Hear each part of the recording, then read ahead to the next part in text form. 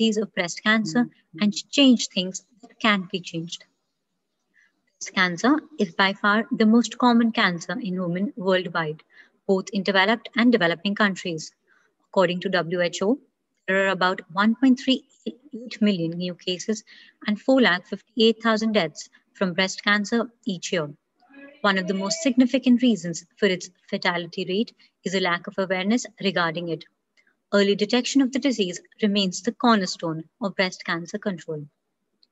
When the disease is detected early and if adequate di uh, diagnosis and treatment are available, there is a good chance that breast cancer can be cured. If detected late, however, curative treatment is often no longer an option. The month of October is considered the Breast Cancer Awareness Month. But breast cancer awareness is not just a month, as the popular slogan goes. It is a necessary conversation which we aim to take forward through the medium of this webinar. Also, due to the current pandemic situation, the world is not able to focus on some other issues which have been prevalent since years, which formed, which further increases the need to talk about them. We seek to learn and help others learn more about the relatively untapped topic of breast cancer. Our aim is to explore more about its causes, symptoms, and treatment. Women generally hesitate to talk about breast cancer. Due to this, they do not come up with the symptoms they might be facing, and, and though they do not take the proper treatment. This increases the morbidity rate, and we fail to fight the disease, irrespective of one's gender. Our association with breast cancer awareness is not only limited to spreading awareness. It is a long journey, and this webinar is just a part of it. We will be conducting a set of programs to aware women around us to empower them to ha for having a conversation about it. It would include talking to them about the symptoms, causes, and ways to recover or when to go to a doctor not only women, but men's participation for the cause would rather increase the reach of awareness levels among people. To carry forward the idea of engaging with people, we have launched our own hashtag, hashtag let that pink in, through our social media campaign. We request you all to support the cause by promoting the hashtag. We've prepared a video to showcase the same. I would now request Devashish to please share the screen and play the video for all of us. Hey, I have something to tell and it's kind of an emergency. क्या हुआ? I think, nahi. Actually, I've been diagnosed with breast cancer. Hmm, but you're a boy and boys don't have breast cancer. Spoiler alert, we all have breast tissues. Look, I'm serious, okay? He looks kinda sus. What's with the what's up out or attitude? I'm telling you something which is real and prevalent in society. एक तो awareness खुद चल के तुम्हारे पास आ रही है and you're choosing to ignore Okay, it. I understand boys have tissues, but they're not big enough to have tumor. Are you even listening to me since then? Okay, it's all gibberish to me. It doesn't make sense. I guess I will have to get them here now.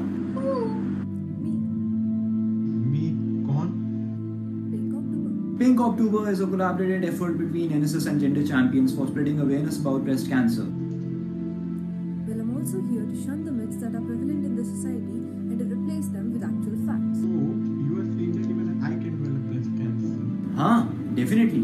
But even if we could not, that should not stop us from spreading awareness about this to our mothers and sisters, or in fact to every other gender who is prone to this.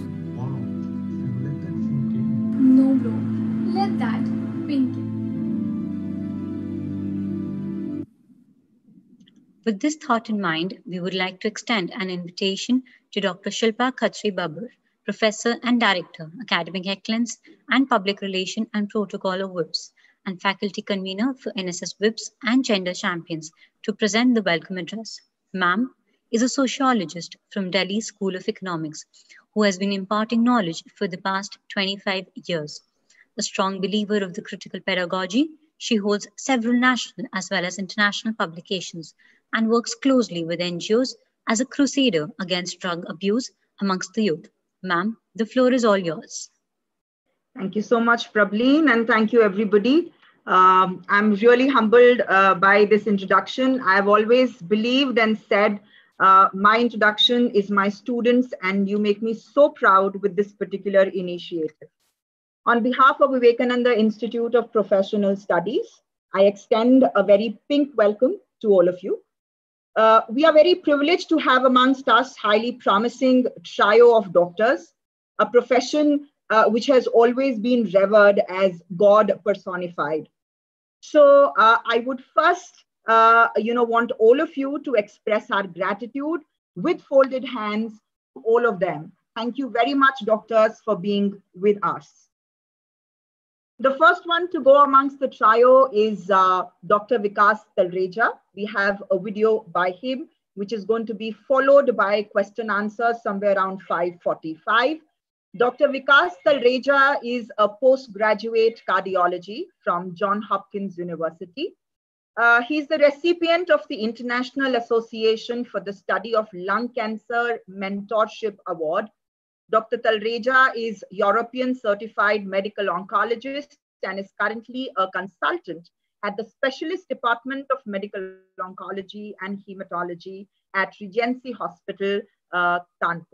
So we welcome you, uh, Dr. Vikas Talreja. It's, it's a privilege to have you with us.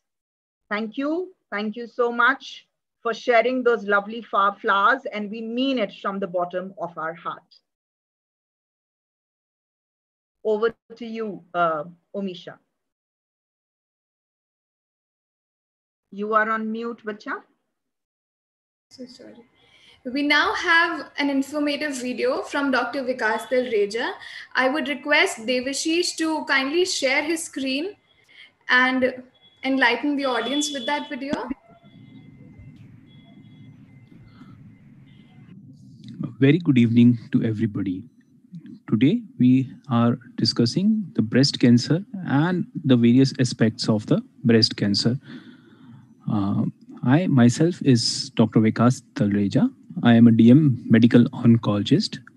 The medical oncologist is a cancer specialist who deals specially with the, all forms of cancers and their medicines. So all forms of chemotherapies, targeted therapies, and other form of uh, treatments of cancer are uh, we are the specialist of that. Uh, and I was formerly employed at Tata Hospital and Safdarjung Hospital. Currently, I'm, I'm employed at Regency Hospital, Kanpur. So, when we deal with the breast cancer, we need to know what are the various screening tools for the breast cancer diagnosis. How do you define as what is clinical breast examination, self-examination, mammography, ultrasonography, FNAC, cytology. And why is breast cancer that much importance? So as you could see, the yellow line that indicates the breast cancer has shown the maximum rise of the cases from being 1970 being 20.1 per 1 lakh females to 31.3 in 2000 uh, the incidence has risen quite sharply and similarly one of the most common causes in Indian also, the most common cause of the cancer is the breast cancer. And it is the most common cancer in women worldwide. Most common cause of death from cancer among the women. More than three-fourths of these women in developing countries are diagnosed in advanced stage of disease. That is in a stage three or a four disease. And if these lesions are detected, most breast cancers can be effectively treated with good outcomes. In India, 1,44,937 women were newly detected with breast cancer in 2012, of which 70,218 women died. So for roughly every two women newly diagnosed with breast cancer, one dies of this disease. And that's a very sad prognosis. And that's why we need to see which women we need to screen. So all women between the ages of 40 to 60 years of age needs to be screened. All women identified with the breast mass that has previously not been clinically evaluated needs to be screened for the breast cancer. Women with high risk factors can be offered screening from age 30 years. So what are those high risk factors? There is no children or children after 30 years of age. The mother or sister had a breast cancer. There was history of prior breast cancer or there was history of breast biopsies inconclusive of which is and initiation of menses before 12 years of age. and an overweight status. And this screening has to be done every two years. So when we examine, we, we need to be very sensitive because it's a sensitive part of a woman and therefore we need to first of all talk her into an examination. We have to respect that the woman's sense of privacy is there and the woman is anxious. We have to assure that it is just for diagnosis purpose uh, and we are here to make her comfortable. Throughout the examination approach we should be very gentle in our approach and should avoid any sudden and unexpected movements and perform each step gently and ask her if she's having any discomfort during any part of the examination. And we can also assess her by the facial expressions she has. We always have to take into factor the cultural factors and deciding what clothing we have to remove or what clothing we have to keep for her. And we have to cover the non-examined breast with a clean sheet or a drape. These examinations should be performed in a clean well lit private examination or a procedure room that has a source of clean water. And we always always insist that a female assistant should be available to accompany the woman when a male clinician is examining. One of the most common cancer and that's why it tends to have a number of myths. So i would tend in next couple of slides i will tend to find out what's the myth associated with these cancers and what's the real fact so most common myth is that the most breast cancers runs in the families, while the reality is only 5 to 10% of them are the hereditary. There are basically 90% of them which are largely due to lifestyle and environmental factors. There is nothing you can do to lower the risk of the breast cancers, and that's a myth because you can keep your lifestyle healthy, maintain a healthy weight, exercise regularly, and if you're drinking, you should limit as per the social norms for the alcohol. Ill-fitted bras causes blood cancer, and that's a, one of the most uh, common spreaded myth.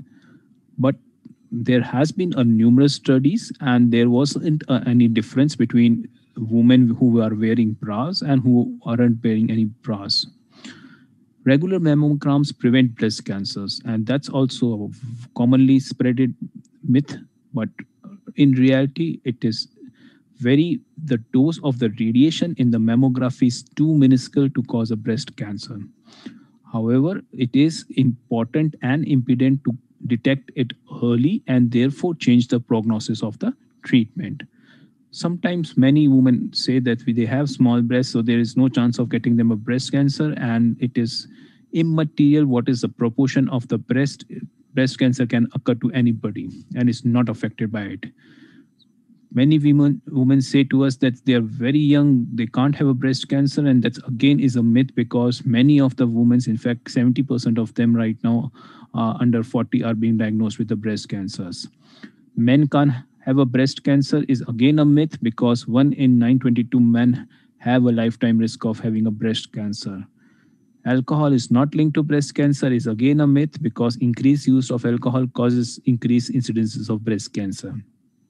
And only with women with the family history of breast cancer are at risk, and that's again a myth. All women are at risk. The family history just increases the risk. So how do you we classify the stages of the breast cancer? So anything which is limited inside the breast is a stage one disease. Anything which is limited inside the breast and has spread to the nearby lymph nodes, uh, these are the swellings in your axillas, that's or the armpits, that's the stage two. When the tumor has spread to the superficial structures of the chest wall, has involved internal mammary lymph node. These are a series of the lymph nodes in between uh, your chest.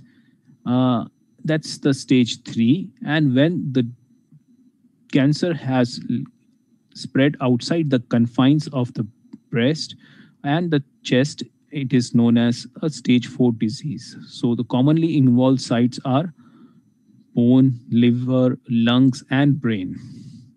And therefore, the breast examination is a simple examination which has to be done monthly during the period of ovulation, preferably at the same time, and is as simple as one, two, three.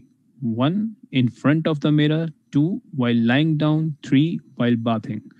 In front of the mirror, just check for and look uh, of the breast, feel for your breast, see any dimpling, size differences, nipple discharge and inspect four ways arms at the sides, arm at overhead, firmly pressing on hips and bending forwards.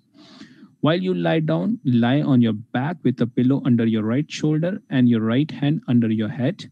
With the four fingers of your left arm making small circular movements, just follow up and down pattern over the entire breast area, under the arms and up to the shoulder bone firm press firmly pressing. Repeat same procedure using the right hand on the left breast and while bathing also with your arms raised, check your right breast with the left hand and flat fingers using the same method as in previously. Repeat similarly on the other breast, that is the left breast with the right hand. What you have to look, you have to look for any lump. If you have to look for any pulled up nipple, you have to look for any dimpling you have to look for any discharges. You have to look for any redness, rashes, or skin changes. So the breast self-examination detects the majority of the breast cancer. It's the potentially life-saving monthly examination at the end of the menses. You can do it and you can detect it early and in an effective manner. You have to inspect for any skin changes, look for any redness, any visible lumps or bumps, or a nipple crusting or a symmetry. You have to raise the arms up. You have to see that the breast should rise evenly and watch for any dimpling or retraction. And feel for the lumps by raising the arms, feeling with the opposite hand. It just feels like a marble in the bag of the rice. The best method is using the middle of the fingers. So fingertips usually when you do they tend to poke a lot and our fingertips are too sensitive. So everywhere we feel that those there are number of marbles inside the sea. So all breasts are somewhat lumpy. And palm is also insensitive. So the middle portion of the fingers is just the right method of do it. So start at one place press in while circling with your hands and feel for any thickening or the size of a marble and move in small circles as demonstrated in this. Then move to another location, work your way around the breast in a circular clockwise fashion using small circles of the hand as you go. Make sure that the entire breast is being felt.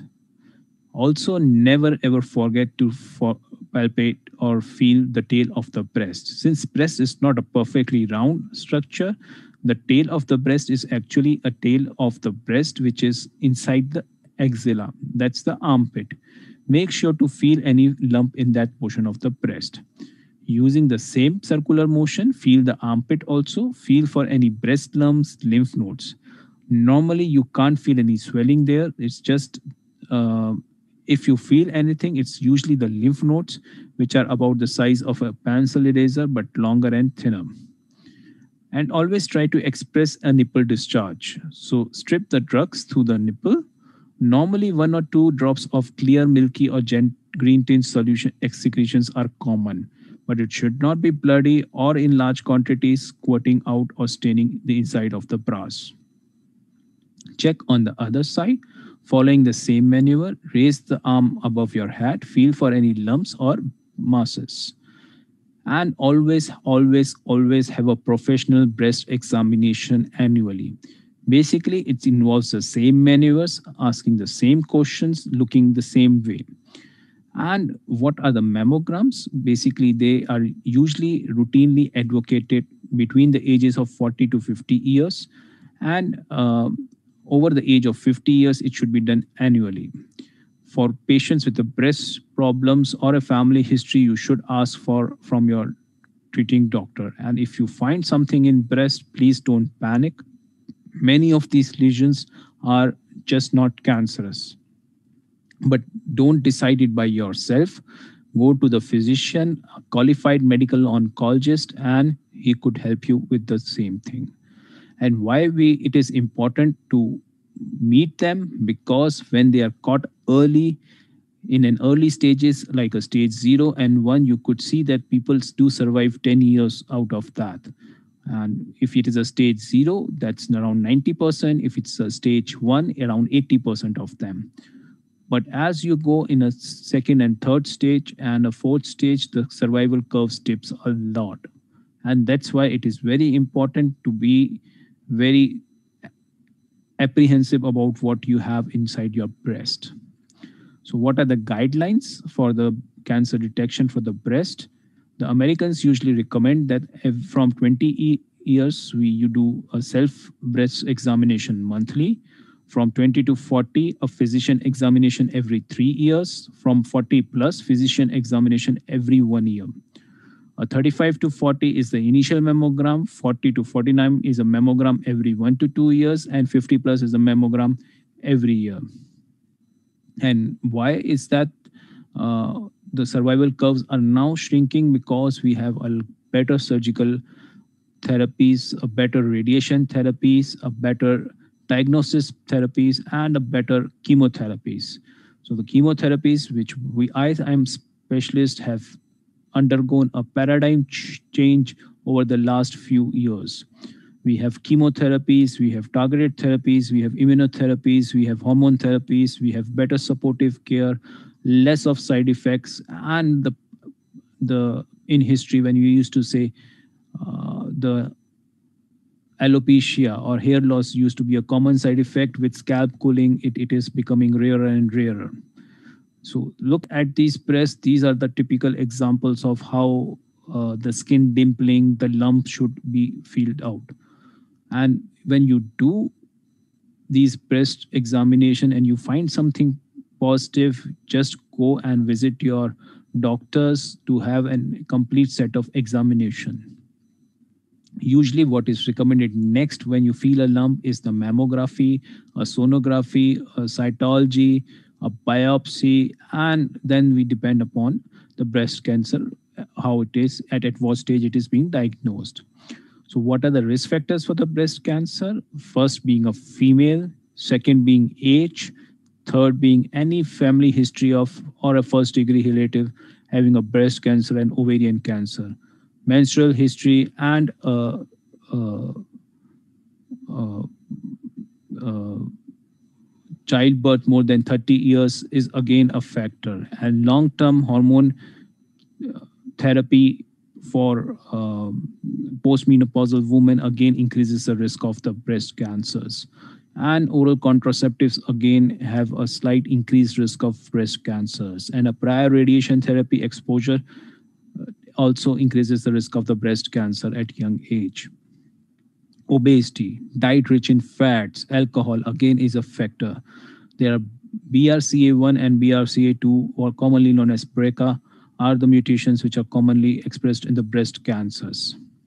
And how do you assess the breast cancer risk? It's basically you look out at these factors age being the first age more than 35 years the first degree relative with the breast cancer any prior breast biopsies age at menarche, age at first childbirth, and ethnicity. And that's how you give a scoring. When you have a BRCA1 or BRCA2 mutation, you have a relative risk of 10 is to 32 times of being diagnosed with a breast cancer. With a family history of cancer that is first degree relative, two times, two first degree relatives, three times, three or more first degree relatives, four times, and a first second degree relatives around 1 to 1.5 times. Any radiation to the chest wall gives a risk of 7 to 17 times. Hormonal factors, that is either late parity, of, that is a late first childbirth or a no childbirth, again 1.2 to 1.7. An early age menarche, that is less than 12 years you start your menses, or a late menopause, that is more than 55 years, again, you have a chances of breast cancer of 1.2 to 1.3 times the normal population. A combined hormone replacement therapy, again, 1.5 is the risk factor. And alcohol consumption, again, is a risk factor. Smoking, again, is a risk factor. Sedentary lifestyle, again, is a risk factor. Right race is again a risk factor. A breast, a very dense breast, again, is a risk factor. And what influences the survival? The age at which it is being diagnosed the stage at which it is being diagnosed the size uh, where the tumor is uh, being diagnosed and what are the hormonal factors the hormonal receptor or it's a HER2 uh, status about it is you have to look for the masses. You have to look for any microcalcification as you can see these specks of calcifications or the spiculated appearance on mammography as you could see from these.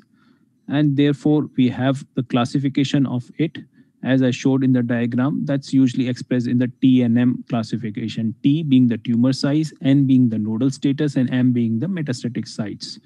And I discussed what was the staging of these breast cancers and what is usually the treatment? For a stage early stage cancer you have to remove that cancer. You have to then examine it periodically after the removal. For uh, DCIS, that is ductal carcinoma in situ, which are hormone sensitive, we give uh, hormonal therapy for five years.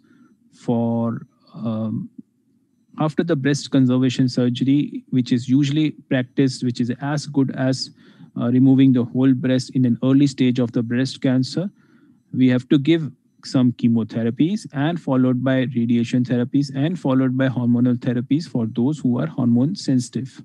For those who are uh, stage three, uh, you have to do the surgery, either the lumpectomy or the removal of the whole breast, followed by chemotherapy, followed by radiation, followed by hormonal therapy if they're sensitive.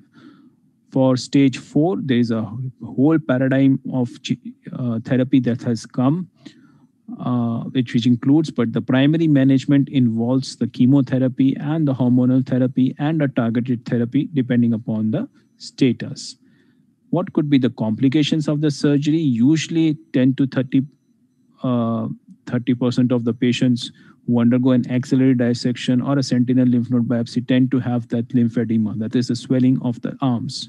There is usually numbness, there is reduced shoulder mobility, the psychosocial problems of mastectomy, and always a phantom breast sensations. Radiation reduces the risk of recurrence, may improve the survival and there are various methods of giving a radiation. Either you give the whole breast radiation or you give a partial breast radiation.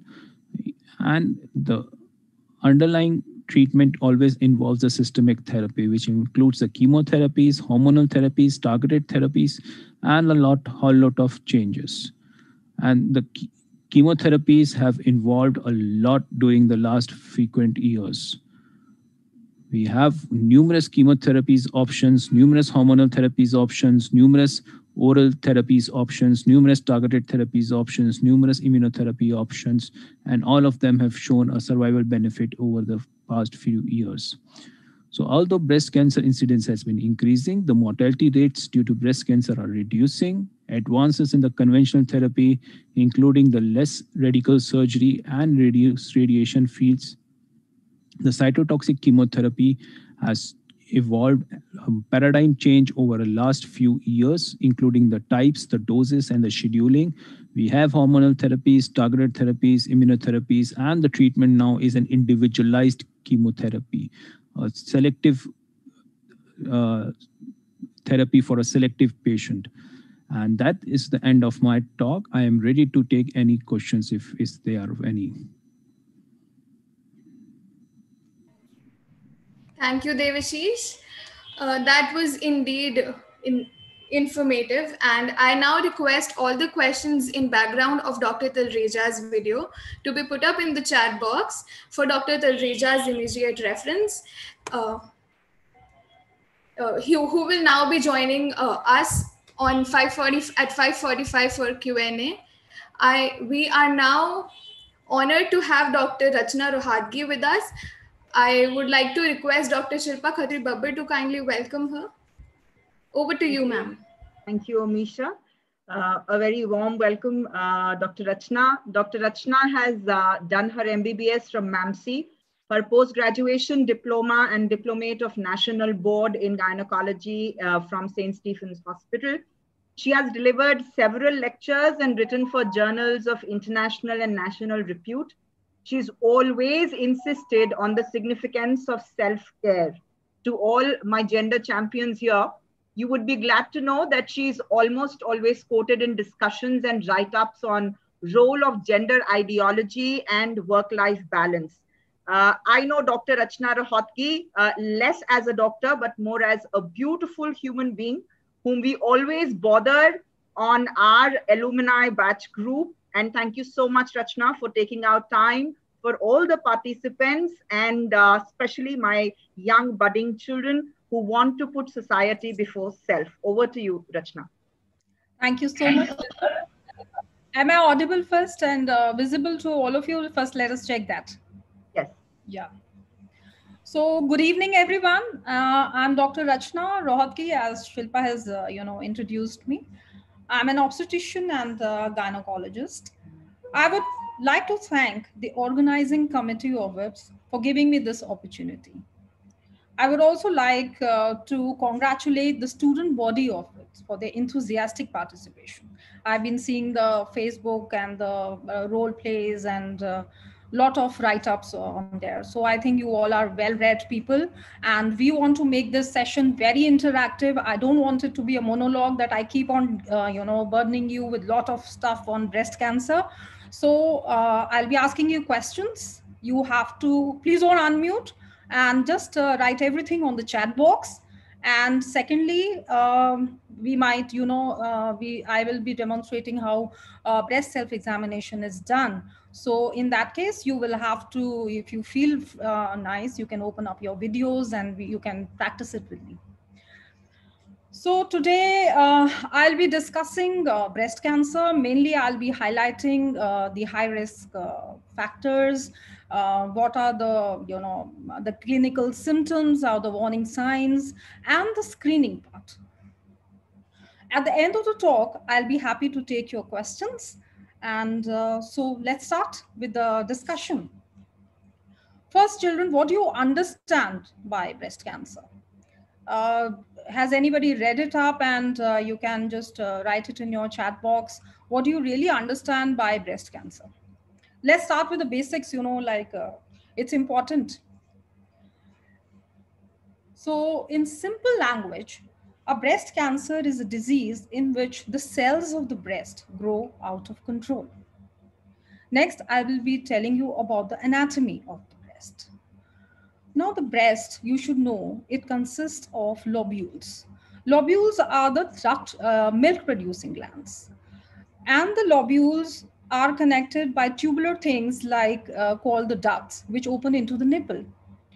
We have the connective tissue, which is the fibrous and the fatty tissue, and the nipples and the areola. So this is the basic, uh, you know, the structure of the breast. Because if I'm discussing the breast cancer, you should all know what is the, you know, what is the breast cancer and how does a normal breast in a very simple language looks like. Now, uh, can we start sharing the slides now? I think, uh, yeah, now we can move to the, uh, you know, the next slide, please. Yes. Now, uh, let us discuss what's the burden of breast cancer in India. According to the National Cancer Registry Program, released by the ICMR, one in 29 females is a patient of breast cancer. Next slide, please.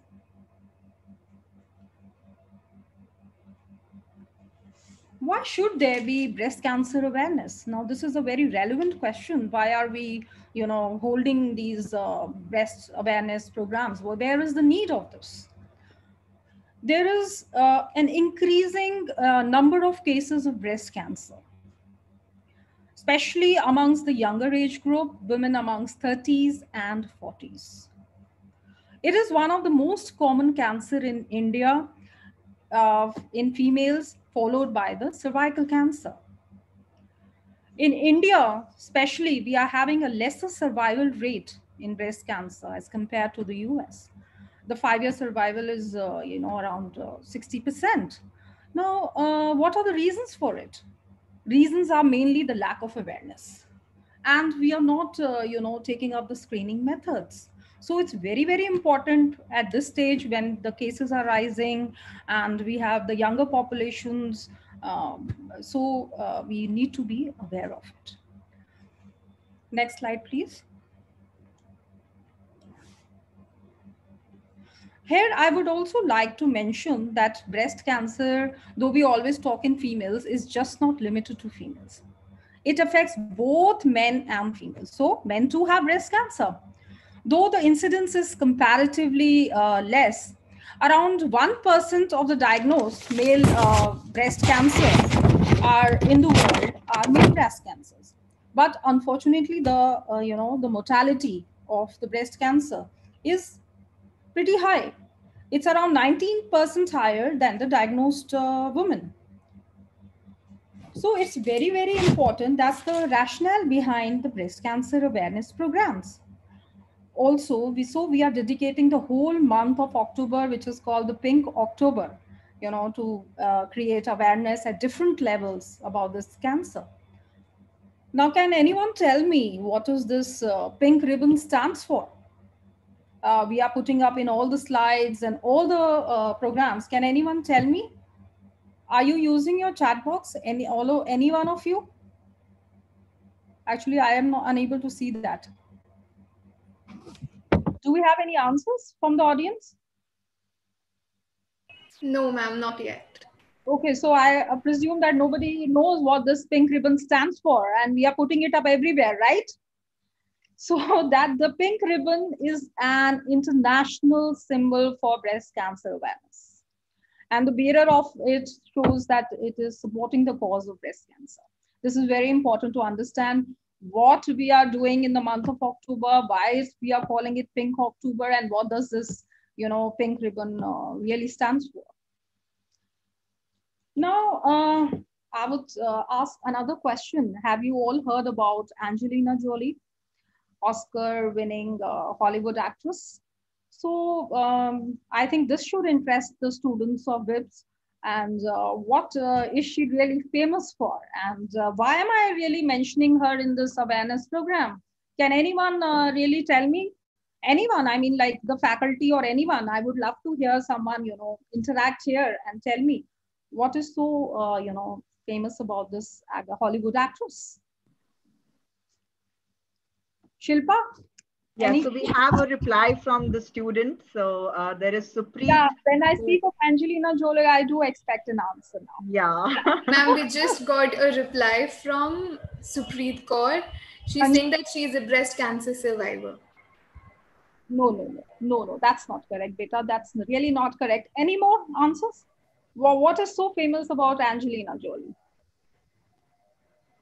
So let me tell you now you know, she found so there is another answer. Sorry, yes. uh, yeah, Rachna. Huh? Oh, couple of more. So come on, Shambhavi, okay. go ahead. Let's see, let's see. अब उन्होंने Google कर लिया होगा I am sure uh, you know children are very smart these days but let us see now one answer was wrong now let us see another answer is from divyam sharma that she went through mastectomy to prevent cancer yeah that's uh, that's quite true actually she found out through genetic testing that she is uh, she is at high risk for breast cancer because of her family history. And so ultimately, she decided to undergo prophylactic. Prophylactic means preventive, means uh, uh, before the disease is diagnosed, bilateral mastectomy to reduce the risk of developing breast cancer. So, uh, you know, uh, this is the, you know, uh, inspired being Hollywood heroine and, you know, breast are the basic assets. And so still she, you know, underwent uh, this uh, procedure. So this is a very inspiring uh, thing. So I brought it up here. And I think though there are many real life heroes and which we fail to mention, but yes, all the cancer survivors and who have been taking lot of steps to, you know, uh, prevent this disease and create awareness. They all appreciate, you know. So uh, now I'll be discussing the high risk factors. Several high risk factors have been uh, of breast cancer have been documented. I think in the previous lecture I was uh, listening, uh, there was a battery of lists. I will be, you know, dealing with very uh, specific ones. First is the family history of breast or the ovarian cancer. there are some mutations in the BRCA gene, one on two. And what do you understand the BRCA? That's the breast cancer gene. Okay. This, these results, the, these mutations give rise to the cancer. They're, they are very much prone to the cancer. But now when I say this, it's not, uh, please do not panic that I have a family history, now I'm going to develop a cancer. So it's not, uh, you know, generally very true. But yes, there lies the, if you have a family history, you should undergo genetic counseling and undergo genetic testing of these two genes, BRCA genes. So this is one important thing which I want to highlight in very simple ways. Next is the reproductive factors associated with prolonged exposure to estrogens. Early menarche, you attain your periods early, a late menopause, late age at first childbirth. So these, uh, you know, lead to more estrogen exposure, and these are certain reproductive factors which are associated with breast cancer. Breastfeeding, uh, you know, uh, is said to be protective for breast cancer, and uh, those women who are not uh, breastfed, they are generally said to be having a higher risk of, uh, you know, breast cancer.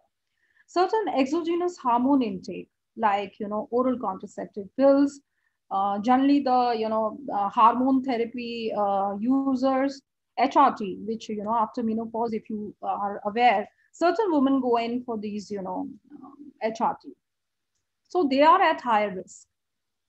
Especially uh, with the oral contraceptive pills uh, there's about 10% increased risk for less than five years of use. So current users and they are more uh, prone to this cancer a personal history of breast cancer. If you had a breast cancer mm, before, you are more prone to develop it again. So, and now the main important thing which I would like to discuss is the lifestyle related, uh, you know, breast cancer risk factors, which are obviously considered to be modifiable breast cancer, uh, modifiable risk factors.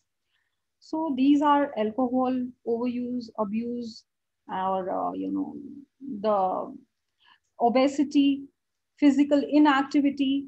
So these are the uh, you know lifestyle. So we are seeing breast cancer more in the urban areas as compared to the rural areas. A disease of the you know westernization and the urban uh, you know areas.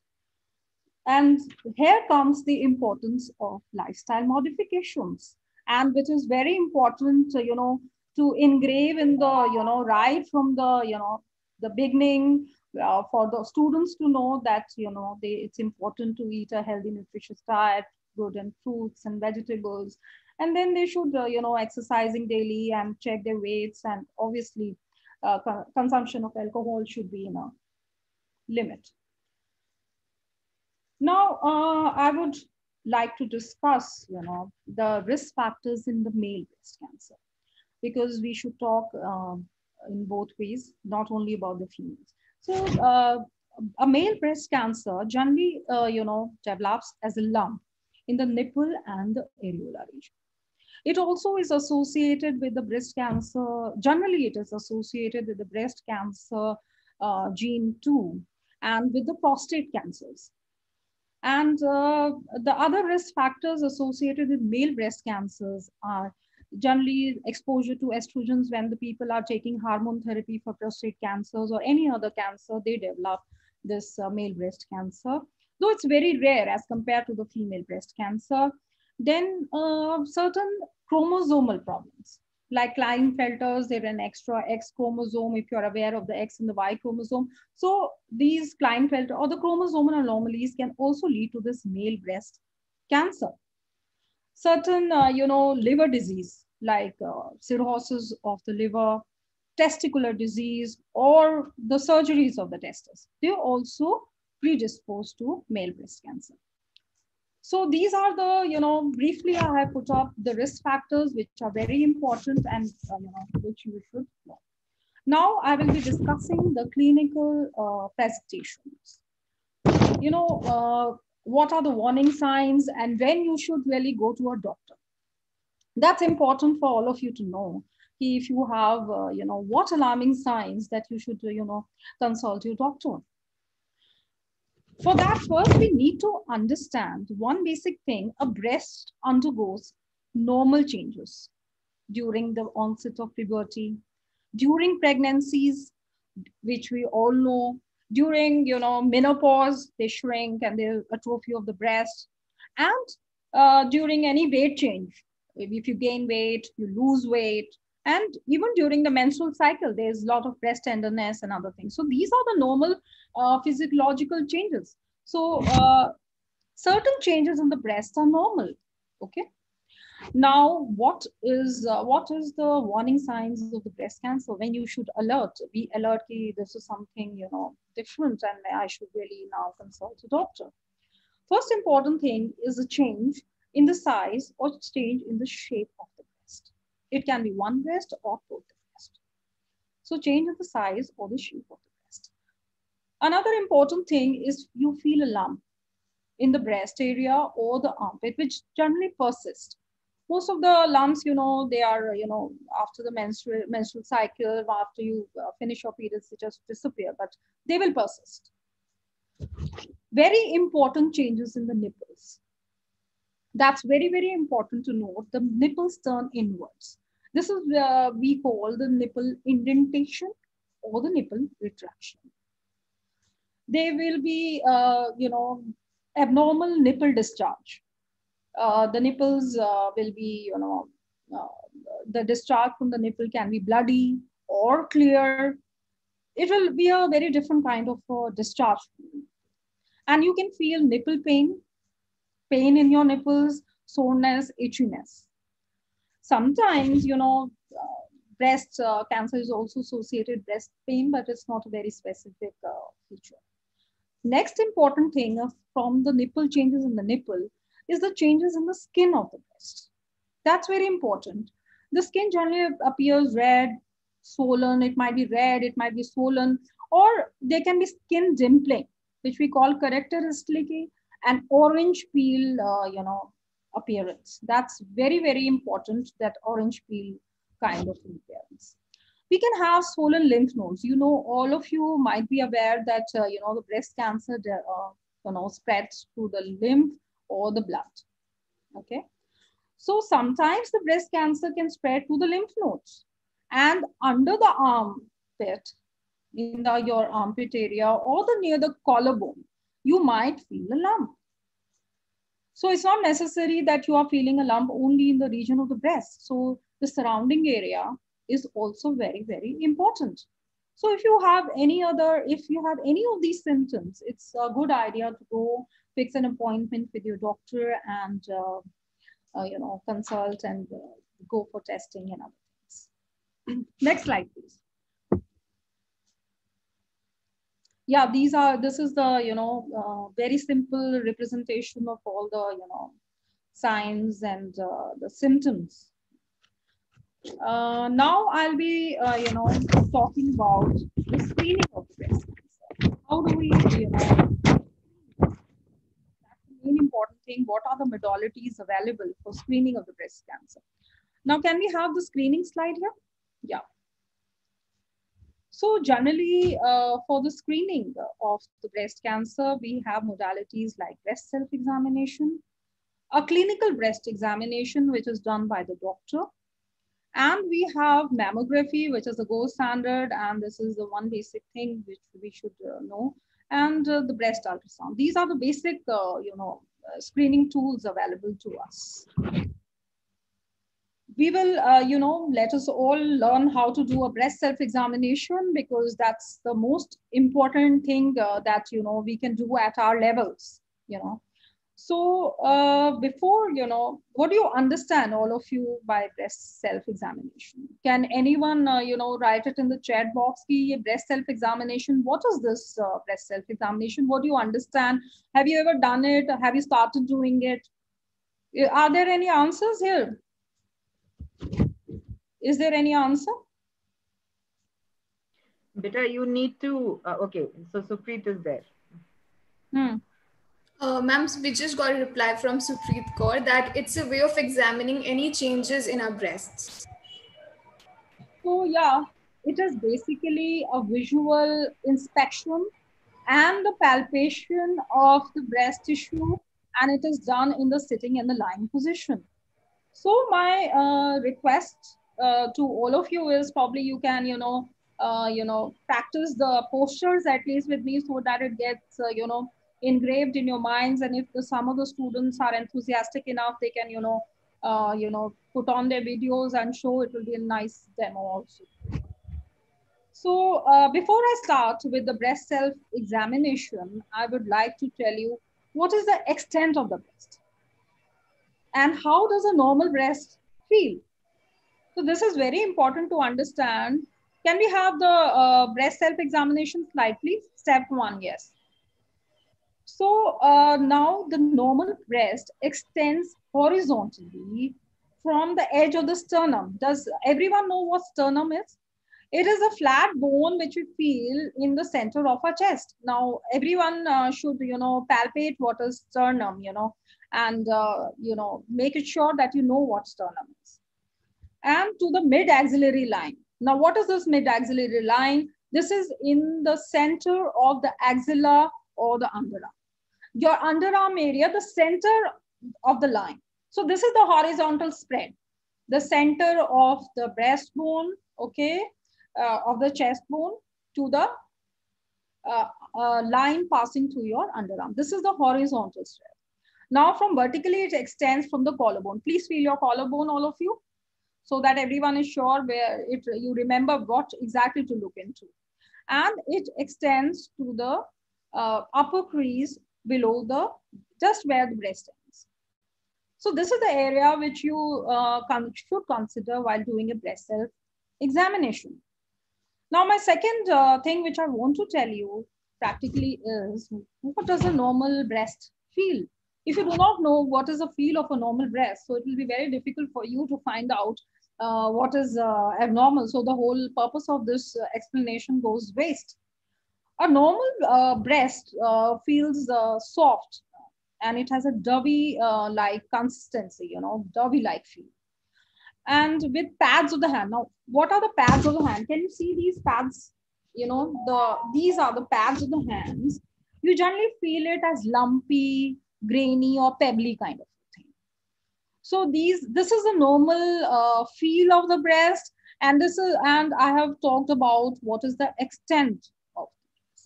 Okay, so now uh, why are we doing this, uh, you know, breast self-examination? What is the purpose of doing this? the main purpose of doing a breast self-examination is to get familiar with your breast. And when, uh, you know, if you're doing it regularly, you will get familiar with your breast and you can pick up any kind of abnormality. So uh, it is, that's the purpose of doing it. Now, the thing is, when should we start doing uh, breast self-examination and what is the good time? Because most people are not aware of it. You know?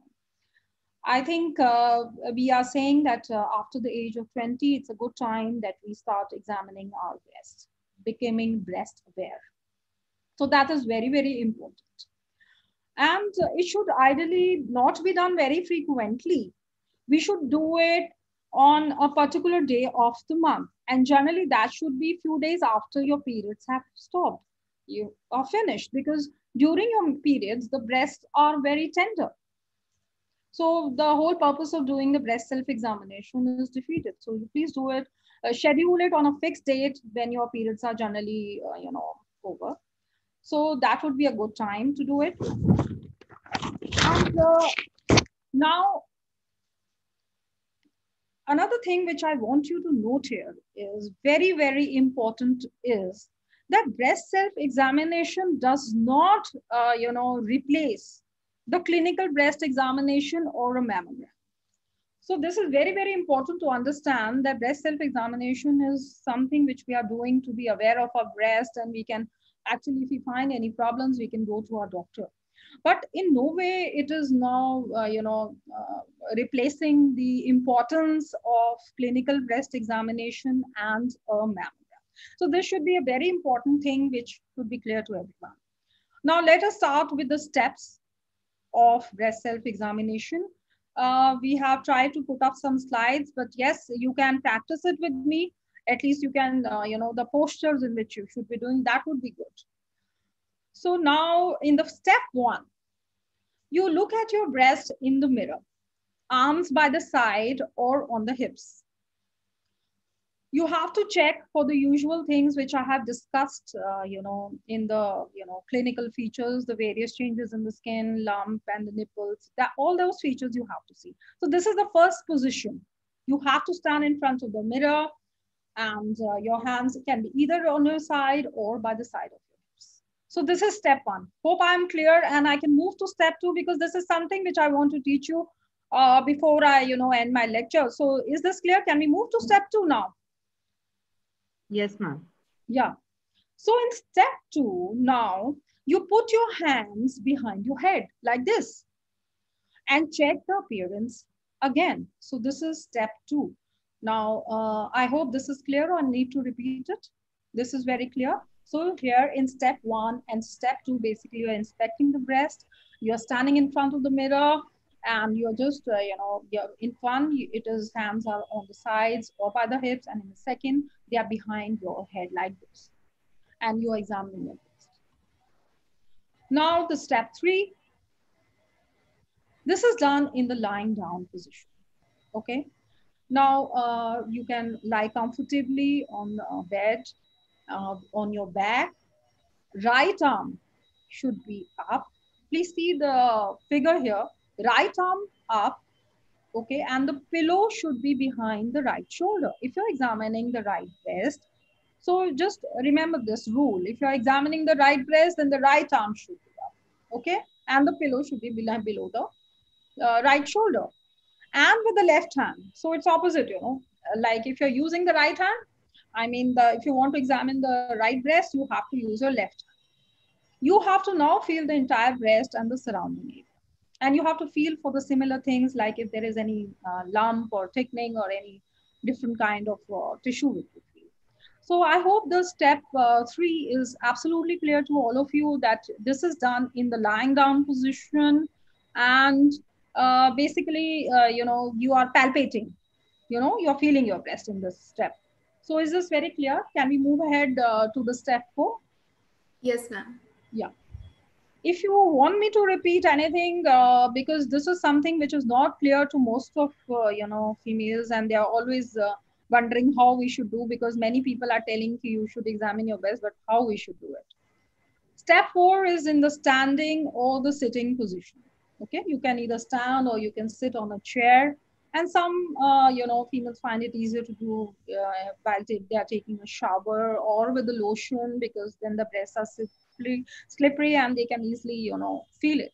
So in this also we are you know examining our uh, breasts feeling them for any kind of abnormality.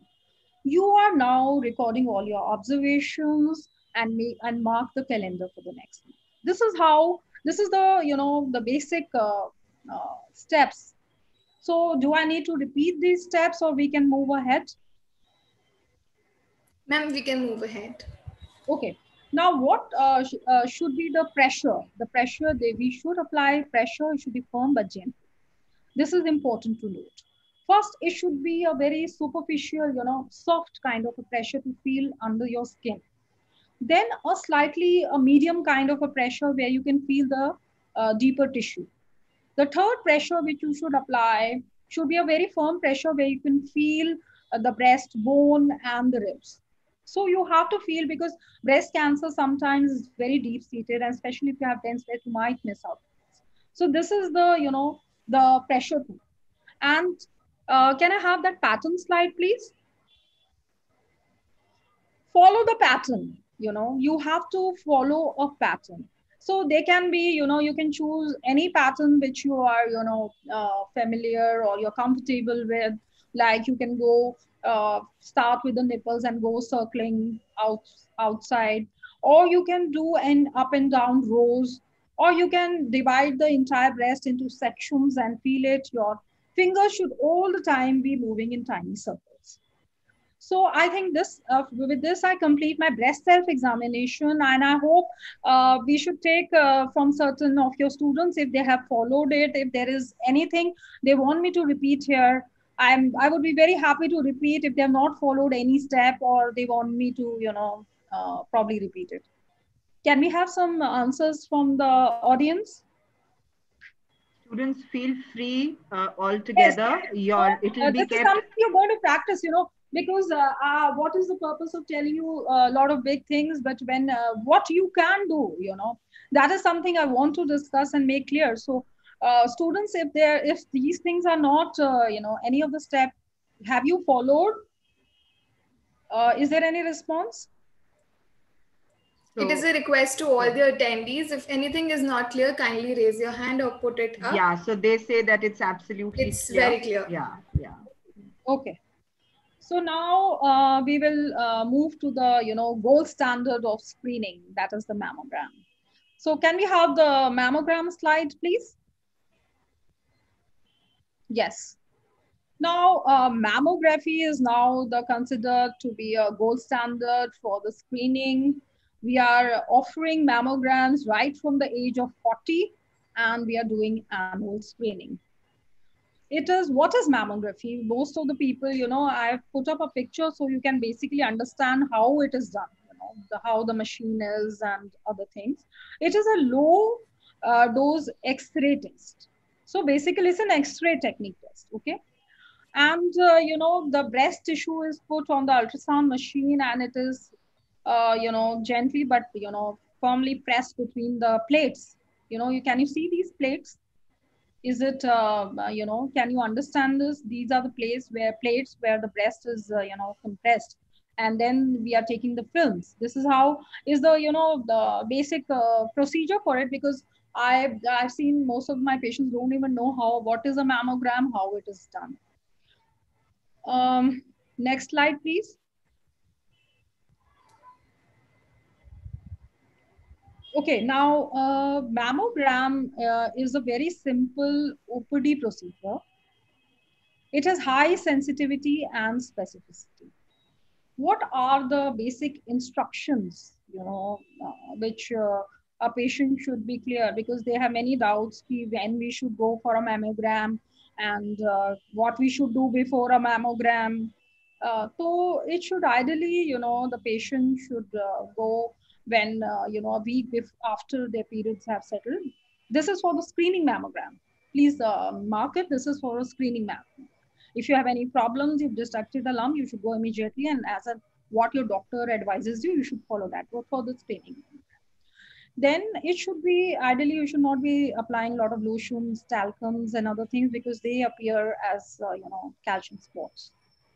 So these are, and if you are pregnant, then obviously you should not take up this test because it involves radiation. And uh, now I would like to say what are the, you know, uh, now not so good about mammograms. We always talk it's a very good uh, screening technique, but at the same time, we should know what is not so good about mammograms. It is associated with false positivity. 5 to 15% is the false positivity. So sometimes, you know, uh, they, it can create some panic. It can pick up some, uh, you know, very innocent lumps, and then the patient has to be uh, followed up with a lot of, you know, mammograms, and sometimes even they are subjected to biopsy. So this is one thing, you know, because uh, if we are doing a lot of tests, so this is something, you know, one of the not so good part about mammogram.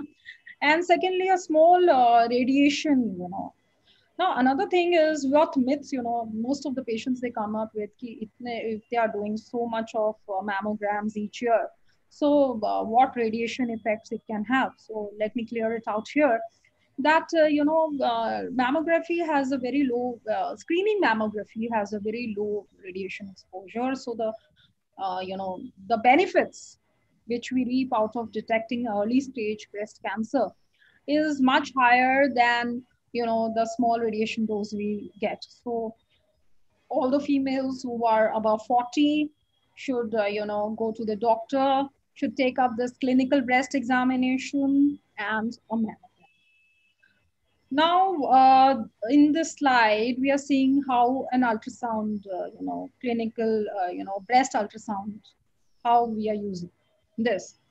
So now in dense breasts sometimes the breasts are dense so mammogram is, uh, you know, the sensitivity and the specificity falls uh, you know, it is not uh, very good in cases of dense breast.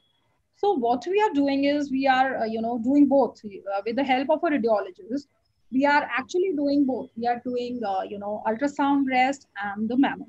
Both of them are done. And then based of the things we are deciding and giving a final report.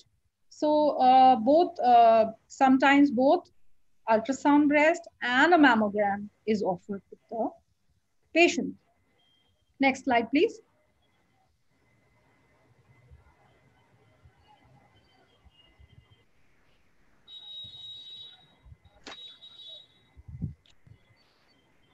Now I would summarize, you know, by saying a very important, uh, you know, take home message for all of you is knowing it exists is not enough. So we should get it formed and pass it on.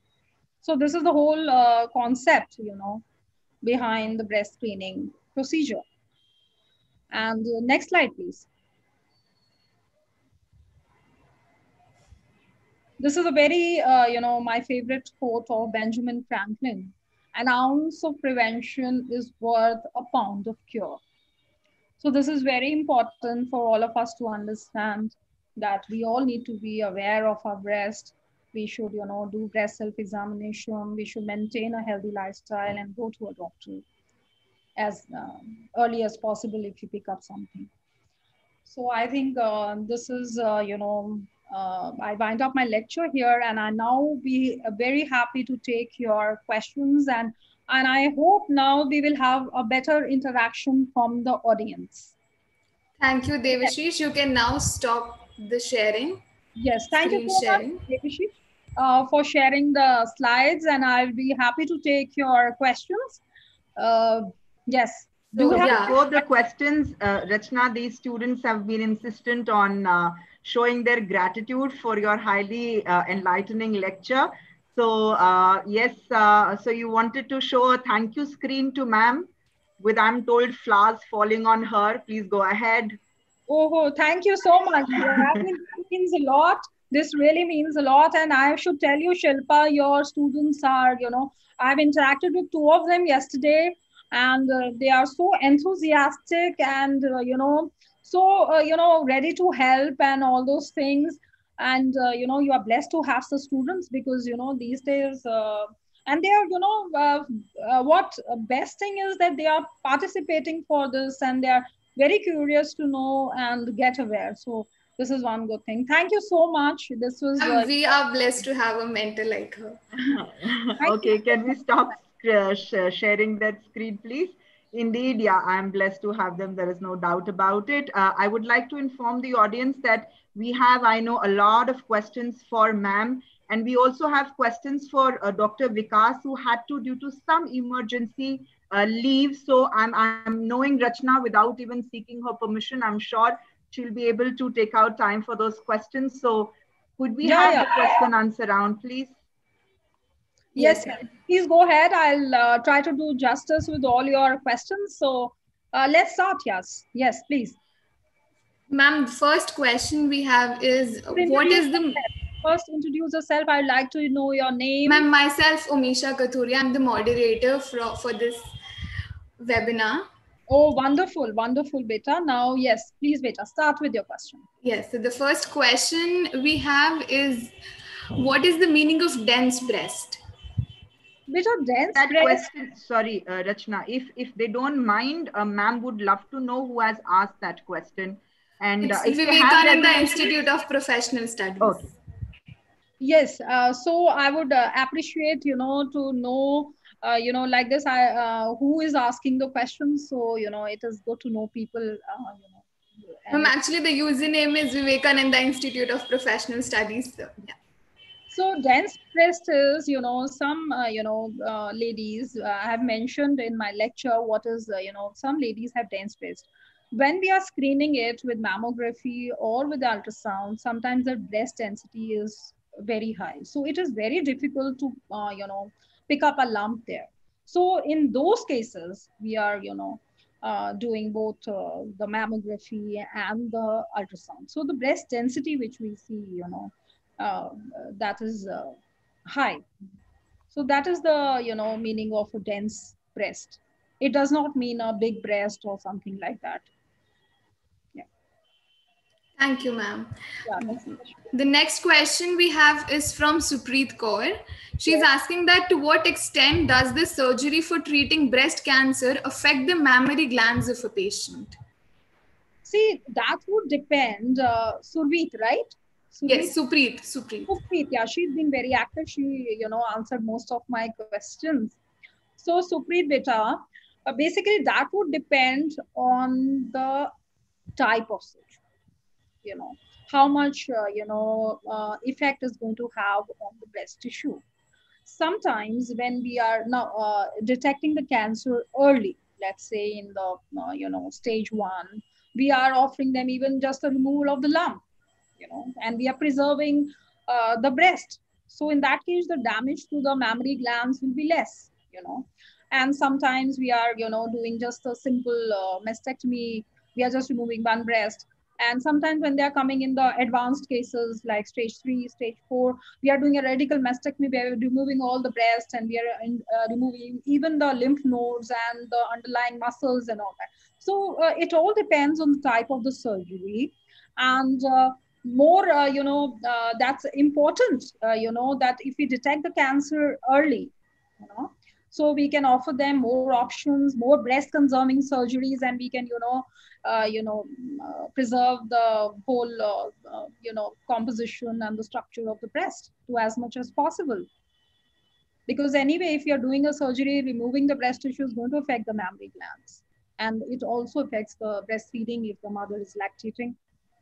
So i hope i've answered. Yeah i hope supreet that very well answers your question we now move forward to namrita singh's question she asks she's asking that is there any possible association between the breast implantation and breast cancer? See, uh, breast implants, uh, you know, uh, they might, uh, you know, have a small incidence of increase in the breast cancer, but generally the latest kind of which we are putting in, they are not, uh, you know, very much predisposing to breast cancer. They might increase to a certain extent your breast cancer incidence, especially if you have other risk factors associated with it. Uh, the now another question is from Shikha Shrishti. She is asking that can mothers feed after surgery? Okay, this is Shikha Shrishti. Hello, beta. Now uh, the thing is, uh, once the patient has delivered and undergone breast cancer surgery, so it will entirely depend, uh, you know, uh, if the patient wants to feed, she should first discuss it with her, uh, you know, oncologist and doctor whether she can breastfeed. Most of the time, when the patient is undergoing breast cancer surgery, like mastectomies and other things, we are in advanced cases, we are offering them certain chemotherapy, certain hormone therapy, and they are secreted in the breast milk. So it will not be a good idea for breastfeeding and then the doctor will say that this is not good uh, for the breastfeeding mother and she can probably you know stop the breastfeeding uh, for some time till these harmful things are you know uh, till the chemotherapy dose is uh, uh, you know finished but uh, yes if you know breast surgery has been done and Uh, the patient is not undergoing any kind of uh, you know adjuvant uh, therapy like or post-op therapies like radiation or chemotherapy, she can breastfeed. And obviously, the you know if both the breasts are removed and no breast tissue is there, so she obviously cannot breastfeed. If this is possible only when you know there's a you know simple uh, one breast has been removed and the other breast is there, so she can feed from that breast, or only a lump is. If you remove the entire tissue, then the uh, point of you know breastfeeding does not hold. So first of all, uh, she should have a breast tissue which is you know uh, where she can feed, and secondly, she should not be on any uh, you know harmful uh, radiotherapy, uh, chemotherapy, or other kind of things which are secreted in the breast milk and it can harm the child. And uh, obviously, before surgery, also sometimes we are saying that we should not be breastfeeding because sometimes breastfeeding can, you know, increase the blood, blood flow and increase the chances of infection. So even before the surgery, we are stopping this uh, breastfeeding. But anyway, there should be a discussion with your doctor. Next question, please. Ma'am, once the breasts are removed and I- I've heard of reconstruction of breast as well. So can a female breastfeed after reconstruction of her breast? No, no, no. I mean, uh, uh, you know, that's an artificial procedure where we are, you know, reconstructing the breast is mostly cosmetic and all, uh, but generally, uh, and there's a lot of damage to the breast, you know, with the radiation and the chemo. So that's a difficult aspect, you know. Okay. Thank you, ma'am.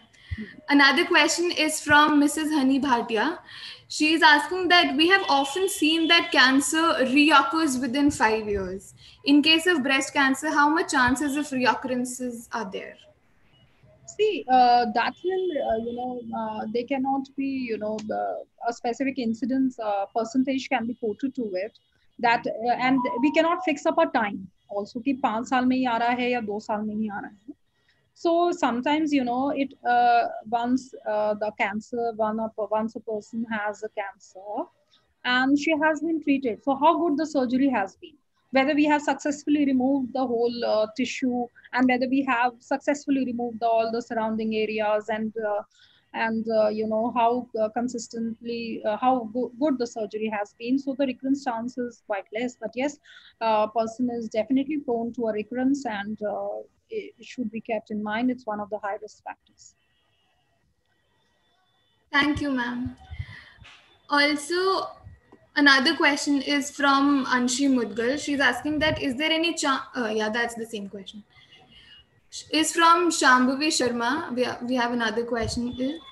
At the time of pregnancy, if a woman is diagnosed with breast cancer, what should be the way forward for her?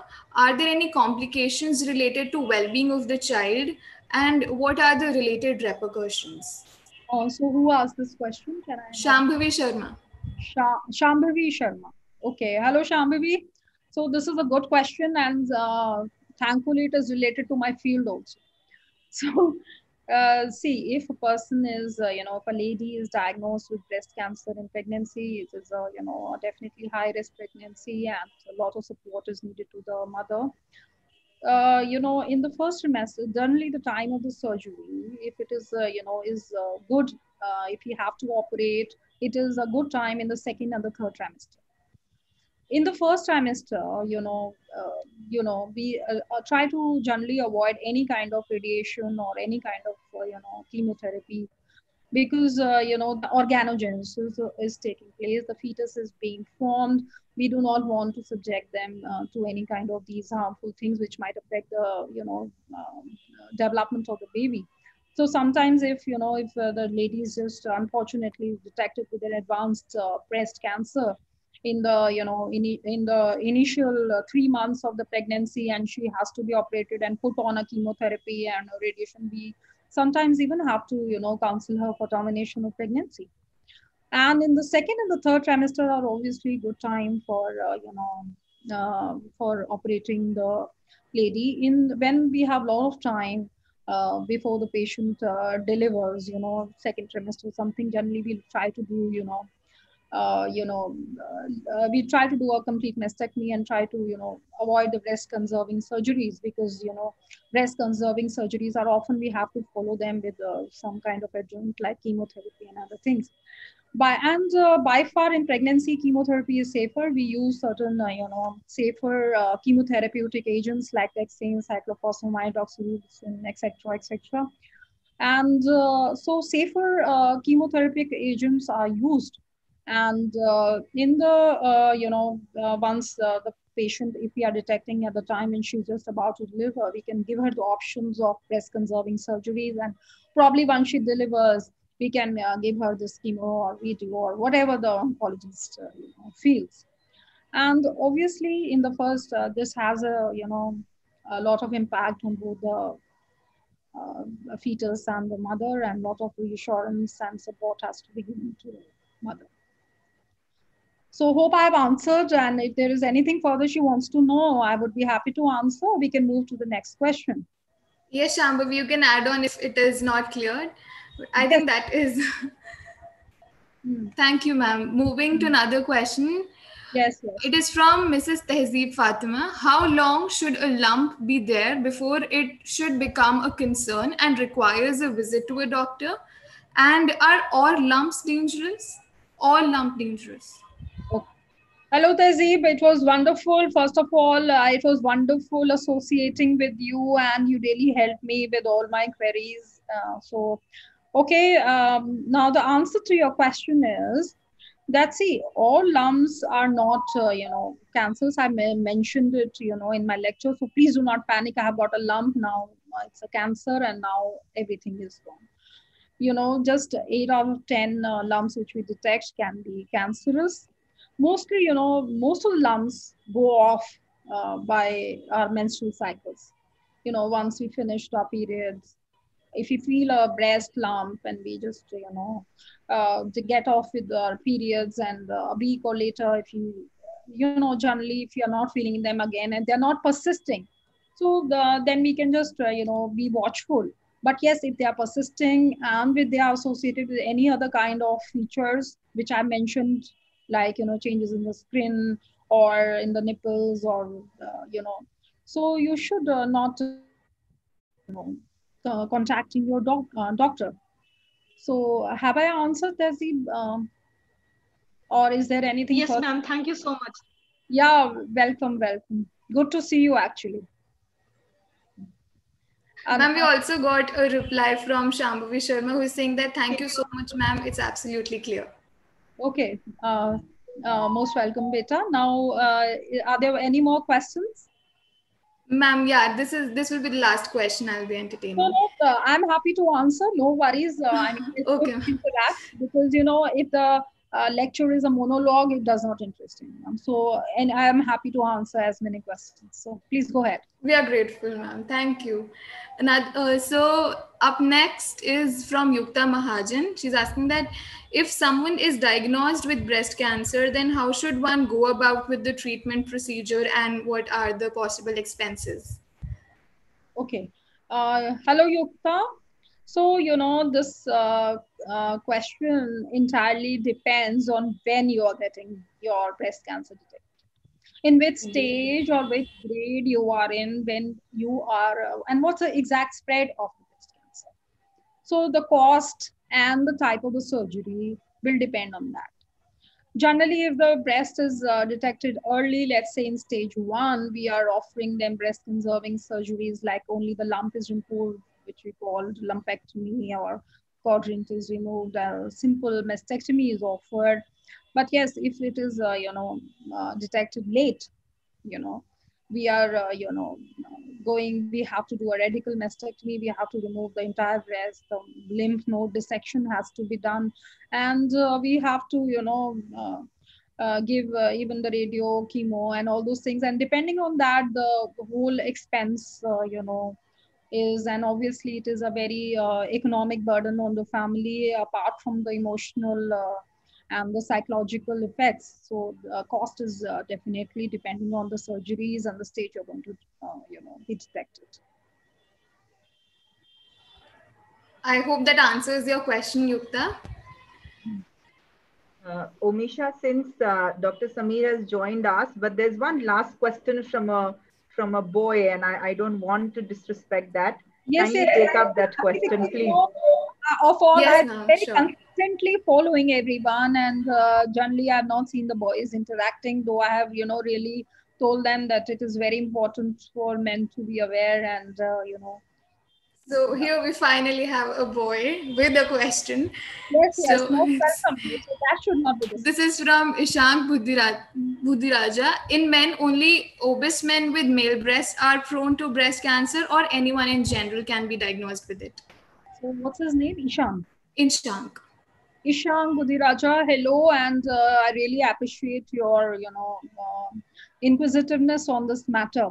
So first of all, I'd like to clarify it's not that only one person who is developing male breast uh, male breast cancer has male breast. So all men have a breast tissue and it is a male breast uh, everyone has it.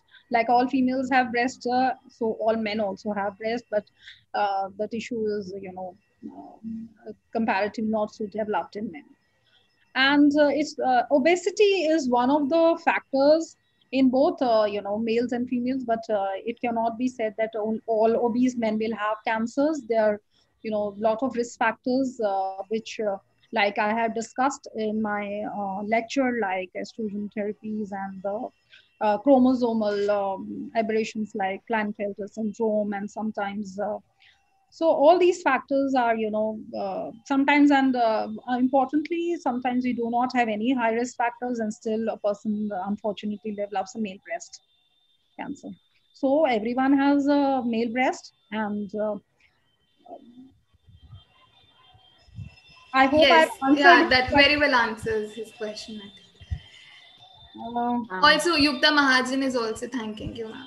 Yeah most welcome most welcome so I, I take over from here. Thank you so much, Rachna. It's been almost one hour, and I think I'm sure Omisha joins me and Tehzeeb that we actually did not even come to know that it, it's almost one hour till the time Indeed. Some, Dr. Sabir started to show in. And uh, so uh, before uh, we welcome uh, Dr. Sameer, uh, I would like to introduce Vivekananda Institute of Professional Studies uh, to both of you, Dr. Rachna and Dr. Samir. And, and we just hope that uh, the emergency for which Dr. Vikas had to rush, it goes uh, fares well and we are with the patient.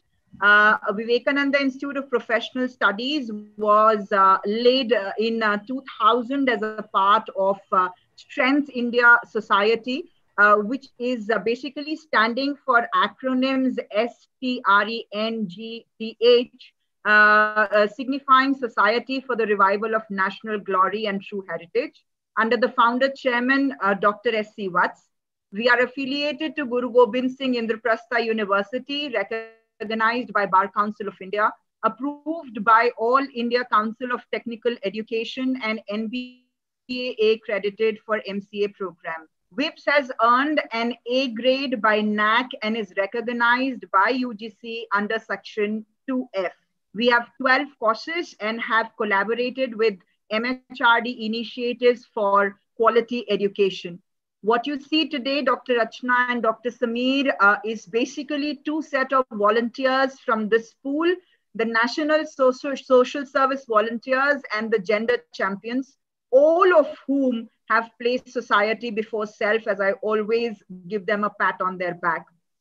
I also feel privileged to have a brilliant faculty team uh, heading these societies, Ms. Tehzeeb Fatma, who has very closely interacted with both of you, Dr. Sunil Mishra and Dr. Anshu Gagal, uh, all of whom have uh, really, really helped us make this event possible by contacting both of you. And you, thank you so much, both of you, for enabling us to conduct this event.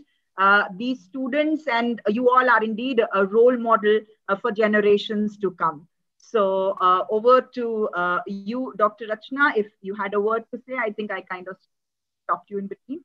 Yeah, thank you so much for inviting me. It has been a wonderful association and uh, look forward to many more uh, such opportunities. So I would like to leave, uh, though I would have loved to uh, listen uh, Dr. Samir's lecture, but actually I have to uh, rush for my evening OPD. And probably we have a recording and we can, I can, you know, have the pleasure of listening to it. Um, sure, sure. Definitely, ma'am. So good day and goodbye. Thank you so much. Thank you so much, ma'am. Thank you so much. Rachna, ma'am, can you stay for a minute? Yeah, yeah. Hello, how are you? I'm good. So, hi, everybody. Uh, Samir Badlani. Um, so, pleasure being here. I got to catch the last five minutes. I just posted the risk factors for uh, male breast cancer on the chat. So, if anybody's interested, before we get started, uh, I don't know how many of you know that uh, Shilpa, Rachna, and I went to the same school. And for the record, both of them used to trouble me a lot. I was a very shy boy and I used to get uh, hazed by both of them. So today is a little bit of a payback time that I'm going to take advantage of. You're most welcome, Samir. Rachna, please carry on. okay. Uh, so um, Rachna was the smart one. I was always like number three or number four. So for the record, Rachna was the topper in our class. Okay. Thank you so much for the you know uh, introduction. I'm going to tell more stuff. You might want to stick around, Rachna. So I have a I have a whole list of stuff about you that I've written up. Don't open this up here, and we are yes, getting a formal introduction. But you know, it's uh, good to see both of you, Shilpa and Sameer. It's good to we could connect, you know, with this uh, noble cause of uh, yeah. you know spreading. Yeah, absolutely. Thanks to That's the most important thing. Yeah, yeah, yeah. So, So- Sameer, I think you should continue with the lecture, and I would love to, uh, you know, listen and laugh. Uh, you know, yeah, because uh, you have an amazing sense of humor, and uh, so uh, I have to leave for my evening OPD, and I'll Yeah, yeah, of course. Okay. Yeah. Yeah. Bye bye. Yeah. Take bye. care. Yeah. Thank you. All right, Shilpa. So, uh, Sorry, I Dr. couldn't resist. Sameer, yeah, yeah, please. Dr. Sameer uh, Badlani received his uh, Doctor of Medicine degree from the University of Delhi and completed his internal medical residency from University of Oklahoma. He also received training in biomedical informatics, wherein biomedical data is used for problem solving and decision making, motivated by efforts to improve human health. Currently, Dr. Badlani is heading the Fairview Health Services at Minneapolis, which is a nonprofit academic health system. His experience as a clinician and IT executive enables him to provide and consistently improve upon the safe, high quality, and efficient clinical care operations and delivery. On behalf of the Institute and my team, I uh, extend a very warm welcome to you. And wow, that's beautiful. So that's Sameer's morning today. Thank so you. Thank you, dear students. Over to you, Dr. Sameer, please. Thank you, Shilpa. Uh, thank you, Tazib, for this opportunity. Uh, and thanks to all of you for spending some time uh, listening to me uh, as I share my thoughts. So, uh, as Shilpa said, you know, I got my med school degree from uh, Delhi University, and I worked at AIIMS for a couple of years, and then went to the US and got a informatics fellowship from the University of Utah. did my internal medicine residency which in many ways is equal to the MD here at University of Oklahoma and became faculty at University of Chicago for about a decade, where I taught at the med school and the residency program. And my clinical practice was mostly solid organ tumors and transplant medicine in the inpatient side. I did not have an OPD uh, as many doctors do. Subsequently, I moved on to more corporate roles uh, in healthcare and became the chief medical information officer. Think of it like the use of technology and data analytics in healthcare delivery. Um, it's a fascinating field that I was very lucky to get exposed to 20 years ago and have uh, been able to build a career. So it's been a lot of fun. And uh, Shilpa is very kind to say that I run Fairview Health System. My boss wouldn't be happy to hear that. I'm still number two uh, which is just fine. Uh, it gives me a lot of time to do things that I enjoy doing, like uh, spending time with uh, people on calls like this and sharing my thoughts. My role is right now the Chief Digital Information Officer and uh, roughly translates into I have areas like enterprise marketing, core IT, data analytics, medical informatics, and digital transformation of healthcare in my portfolio. And I don't practice actively uh, in the sense uh, I still have a medical license, but what has happened through social media channels like WhatsApp and others, uh, I have the benefit of helping friends, family, their friends and family. So now when somebody says, do you practice? I say, yeah, I have a global virtual concierge medical practice. I don't charge anything for it except uh, you know good wishes and goodwill occasionally i get a nice bottle of japanese scotch which i never say no to so uh, it works out for me uh, all right so the topic that Tazib and uh, Shilpa asked me to speak to, since you've already had an expert like Rachna speak about breast cancer per se, therapy and risk factors, is more around the patient, the psychological effects, and what does a patient go through. I can tell you that, you know, uh, one of the other things that I forgot to add in my uh, biography is that when I was at AIIMS, I used to work at their cancer hospital under Dr. Kochu Pillai in the uh, 2000s. So that was a wonderful experience as well. And I got to, you know, uh, have the honor of uh, participating in the care of many patients. Um, so let me start, you know, the way I have divided up my thoughts is I'm going to speak about the patient first, the primary caregiver, and the extended family. Um, the interesting thing about cancer, and I'm also going to keep giving you books and websites to look and read if you are so interested. So, the most famous book on cancer right now is The Emperor of Maladies Uh, it's a quite a thick book, uh, but I highly recommend you read it. It's by a American author of Indian origin, and uh, you will get a real good sense about cancer. Um, what I found about cancer, uh, not just in India and US, the two uh, countries that I've had to practice medicine, there's a lot of uh, myth about it. There is a lot of you know perceptions about it, and when somebody gets a diagnosis of cancer or you want to talk about cancer, I don't know if you guys have experienced this in your dealings, uh, everybody just goes quiet and uh, nobody wants to have a conversation. There is this, you know, uh, uh just almost like a panic attack uh, falls over the entire conversation, you know, and people feel like, uh, you know, it's a topic that they just don't know how to react to, is my best way to describe it. And I found that very interesting observing it. Now, when a patient suspects or gets cancer, often what happens is that uh, people just assume it's an automatic death sentence and uh, you know your life is over and there is nothing else that's going to you know uh, be available to you or you pretty much should you know hang up everything and uh, go to Banaras and find a little kutia there or something like that. That's literally the level of uh, you know reaction that i see in the indian society uh, which is very unfortunate. Uh, the good thing is there are many many cancers now that get get completely treated you know there are cancers that have very little treatment and yes truly are you know you get a clock um, against your name and you're running down that clock. And in the middle there are many cancers that you know have different uh, ebbs and flows and it really depends on you know what stage and what kind of variety there is. So you know if you stick to breast cancer there are many breast cancers that are completely curable uh, especially the ones that have the right kind of hormone profile. So, estrogen positive, uh, progesterone negative, and Herceptin positive. If you have something like that and it's got caught at a lump stage, then a very simple surgery called lumpectomy, uh, chemotherapy, some chemotherapy, and radiation.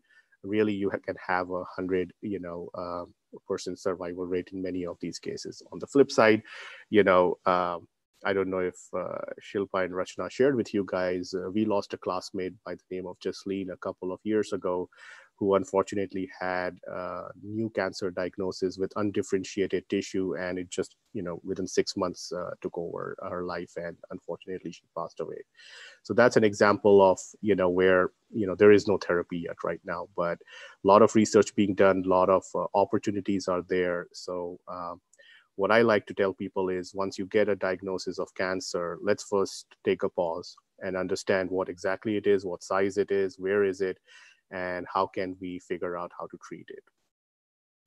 The reason I find the reaction of people to cancer uh, very intriguing, and just not the patient, but the family and everybody else, is there are so many diagnoses uh, in healthcare that have very similar lifespan limitations. So if you have congestive heart failure, stage three, then you have about three to five years to live. If you have really bad COPD, not asthma, this is different, uh, uh, where you know somebody has been a smoker all their life and uh, you know now the lungs are completely uh, full of emphysema, you probably have another three to four years to live if that, and then you also have to be on oxygen. That's again, you know, uh, three to five years of lifespan or something like that or if you have kidney failure or any you know diseases that uh, i had to see and other people see.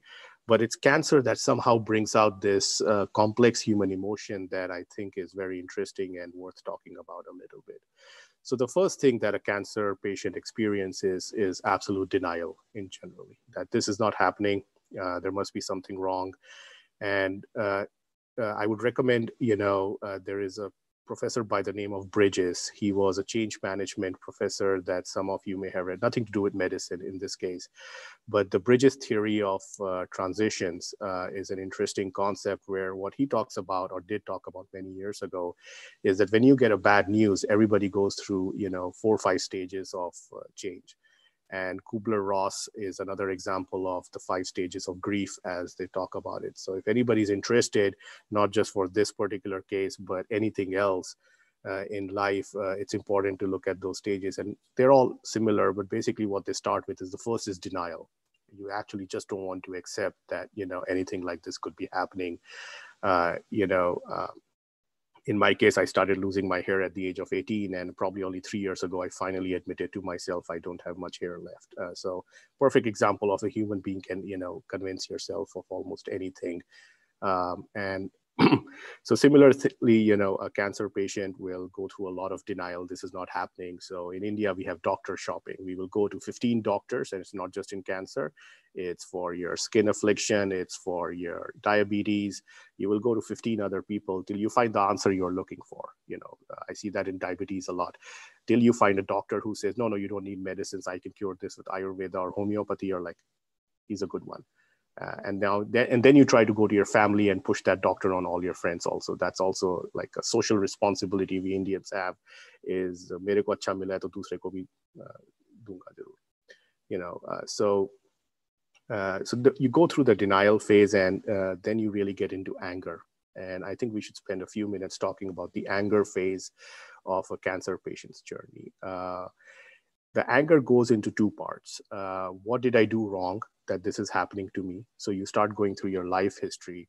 And the challenge is in most cancers, uh, we just can't point out you did X thing wrong. So, like in heart attack or diabetes, I can generally say that look, you are obese, you didn't exercise, your diet is too carb rich, uh, you know, uh, you drink too much alcohol all these things add up and uh, is an example of you know this probably added to your risk factors. Car- you know cardiovascular disease if you look up the framingham score um, online you can put in your age your blood pressure your cholesterol and it'll give you a sense of what your 10 year risk is. It will show you know 5% 10% and so on and on but in cancer, many cancers, we can actually pinpoint what went wrong. In some cancers, we can't. There are, you know, chemical exposures, radiation exposures, uh, high alcohol intake, uh, you can say. But in breast cancer, it's multifactorial.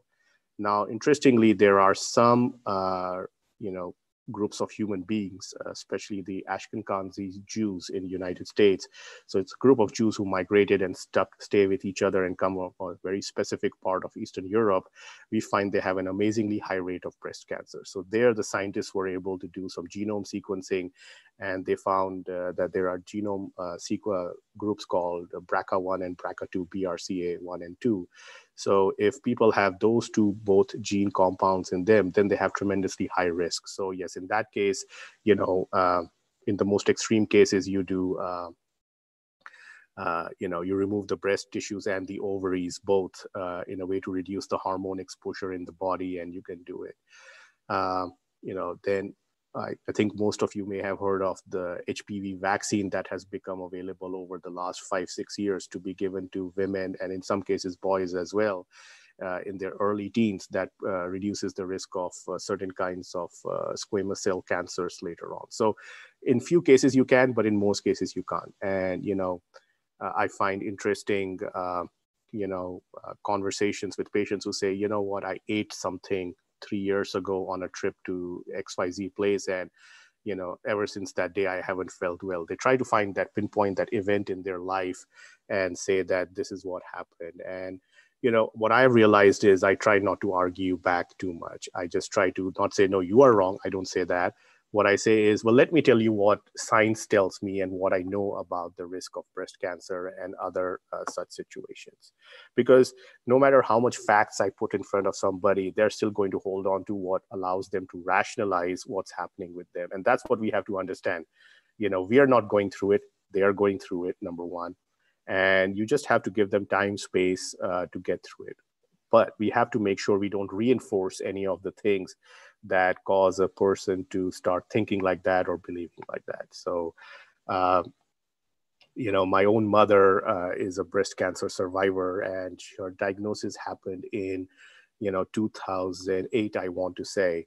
And it was interesting. She had a lump uh, in her 30s, which she immediately went for testing and uh, you know uh, it was taken out. It was just you know a fibrotic cyst and nothing to do there. So when she got a lump again in her mind she did two things which i will tell you is an example of what most patients do is to say well i had this before the lump so it must not be cancer. Or they will say that you know i'm just going to pray harder. So uh, you know this whole thing of that i can pray things away or that there will be a miracle uh, for me because I'm just such a good uh, human being. Uh, you know, whether you're a good Muslim, Hindu, Christian, whatever you want to pick, somehow that's going to give me extra thing. Uh, unfortunately, it doesn't happen. So I'm sorry to disappoint those of you who were hoping for that answer. Uh, so uh, she delayed it and she waited nine months, and the cancer that was probably this small became the size of my fist. So uh, what that did was that delayed diagnosis caused the cancer to spread. And instead of being a very simple lump surgery, like I told you about, she had to go through a big surgery and a lot more radiation, a lot more chemotherapy that was more suffering for her uh, at the end of the day. And my father, as the primary caregiver, and if you look at the tables that talk about survival rates, so most cancer uh, rates, uh, if you look at the survival rates, they're either broken down into a three year survival rate if it is a very aggressive type of cancer, or it will be in the five to seven year survival rate. So in her case, she went from 100% to 65% survival rate. So what that means is if there were 100 patients like her uh, who had locally advanced disease, which is what her diagnosis became, um, only 65 of them would survive. So she's one of the lucky ones that, you know, she still survived, but at a tremendous cost to her own health, uh, mentally, physically, and emotionally. Uh, and she was very lucky that she had Herceptin uh, hormone positive. So just in the last 10, 15 years, a new chemotherapy drug called Herceptin has been become available. And if you are Herceptin positive, it's a directed therapy rather than sort of a broad-based therapy. And, you know, you get lucky. So this thing of denial when you first see the symptoms, uh, you know, goes two ways. Some people will run to the doctor, you know, every 15 days and say, I have this, you know, they start showing things to you. Shilpa and I have another classmate, I won't take the gentleman's name, who uh, literally every 15 days thinks something is wrong uh, with him. So whether it's his heart or his liver or something, uh, you know, we jokingly call him Chintamani. And, you know, that's, uh, you know, more high school stuff. But the reality is the human psychology can be anything. You can have people who are in complete denial, people who are sort of in the middle and do the right thing generally, and people who are very hypochondriac nonetheless, you know, uh, cancer is something that we should get screening on a regular basis. And, uh, you know, there's a website called knowyourlemons.org. Uh, I will post it on uh, the chat uh, momentarily when we are in the question stage and I can stop talking for a bit. Uh, which you guys should look at. It's a very uh, impressive campaign that is now a global campaign that educates people about you know how to do self-examination of breast and different kinds of breast tissue and you know what is high risk of cancer and what is not high risk of cancer and that's the best thing that a woman can do is do uh, self-examination i would encourage men to also look at it because male breast cancer you know is uh, uh, uncommon but not that uncommon uh, everybody has breast tissue uh, whether you're fat, thin, whatever. You may have a small, you may have slightly big. And as I posted on the chat, the risk factors are mostly around, uh, you know, uh, age, alcohol use, and uh, you know, uh, radiation exposure, and anything that causes hormonal imbalance. So in some cases, it could be hormonal therapy. In some cases, you drink so much alcohol that your liver is messed up, and so on and on. Uh, anyhow, so I think helping a patient get through the denial uh, phase is very important because after denial comes anger. Uh, you start lashing out at everybody in front of you, and you feel like life has been unfair to you. And I've seen it in a lot of my patients. I've seen it in my family. I've seen it in my extended family. They look at any bad events, you know, that may have happened. You know, you hear things like, uh, "Oh, uh, I never had happiness in my life, so this happened," or uh, well if you're in india my mother-in-law was very mean to me so that's why i carry you know pain in my heart and this is why it happened. Or you know in my case my mother said you went to america you're a bad son and that's why i got it. So you know as much as it hurts to hear those things from your own parent you have to realize they're in a very tough place right now and they don't really mean those things uh, you know but and it's not that i was able to brush it away. It take, took me a few months to not stop thinking about that so you just have to understand, you know, um, the patient is going through a lot. So the uh, you know the fear and the denial thing are real. They will come and go, and the fear comes from you know two places. One, am I going to die?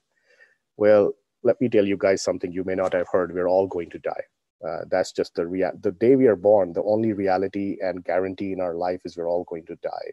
There's no reason to be morose about it you know, Bhutan is a very interesting culture. I suggest you guys read about it. Uh, and uh, they, in their culture, talk about death every day. Uh, so they talk about that okay if i die how will things work if i die you know i wish for this or that so when you talk about death in a matter of fact as something that's an inevitability you know um, it becomes easier uh, the fear is less you deal with it on a daily basis you know.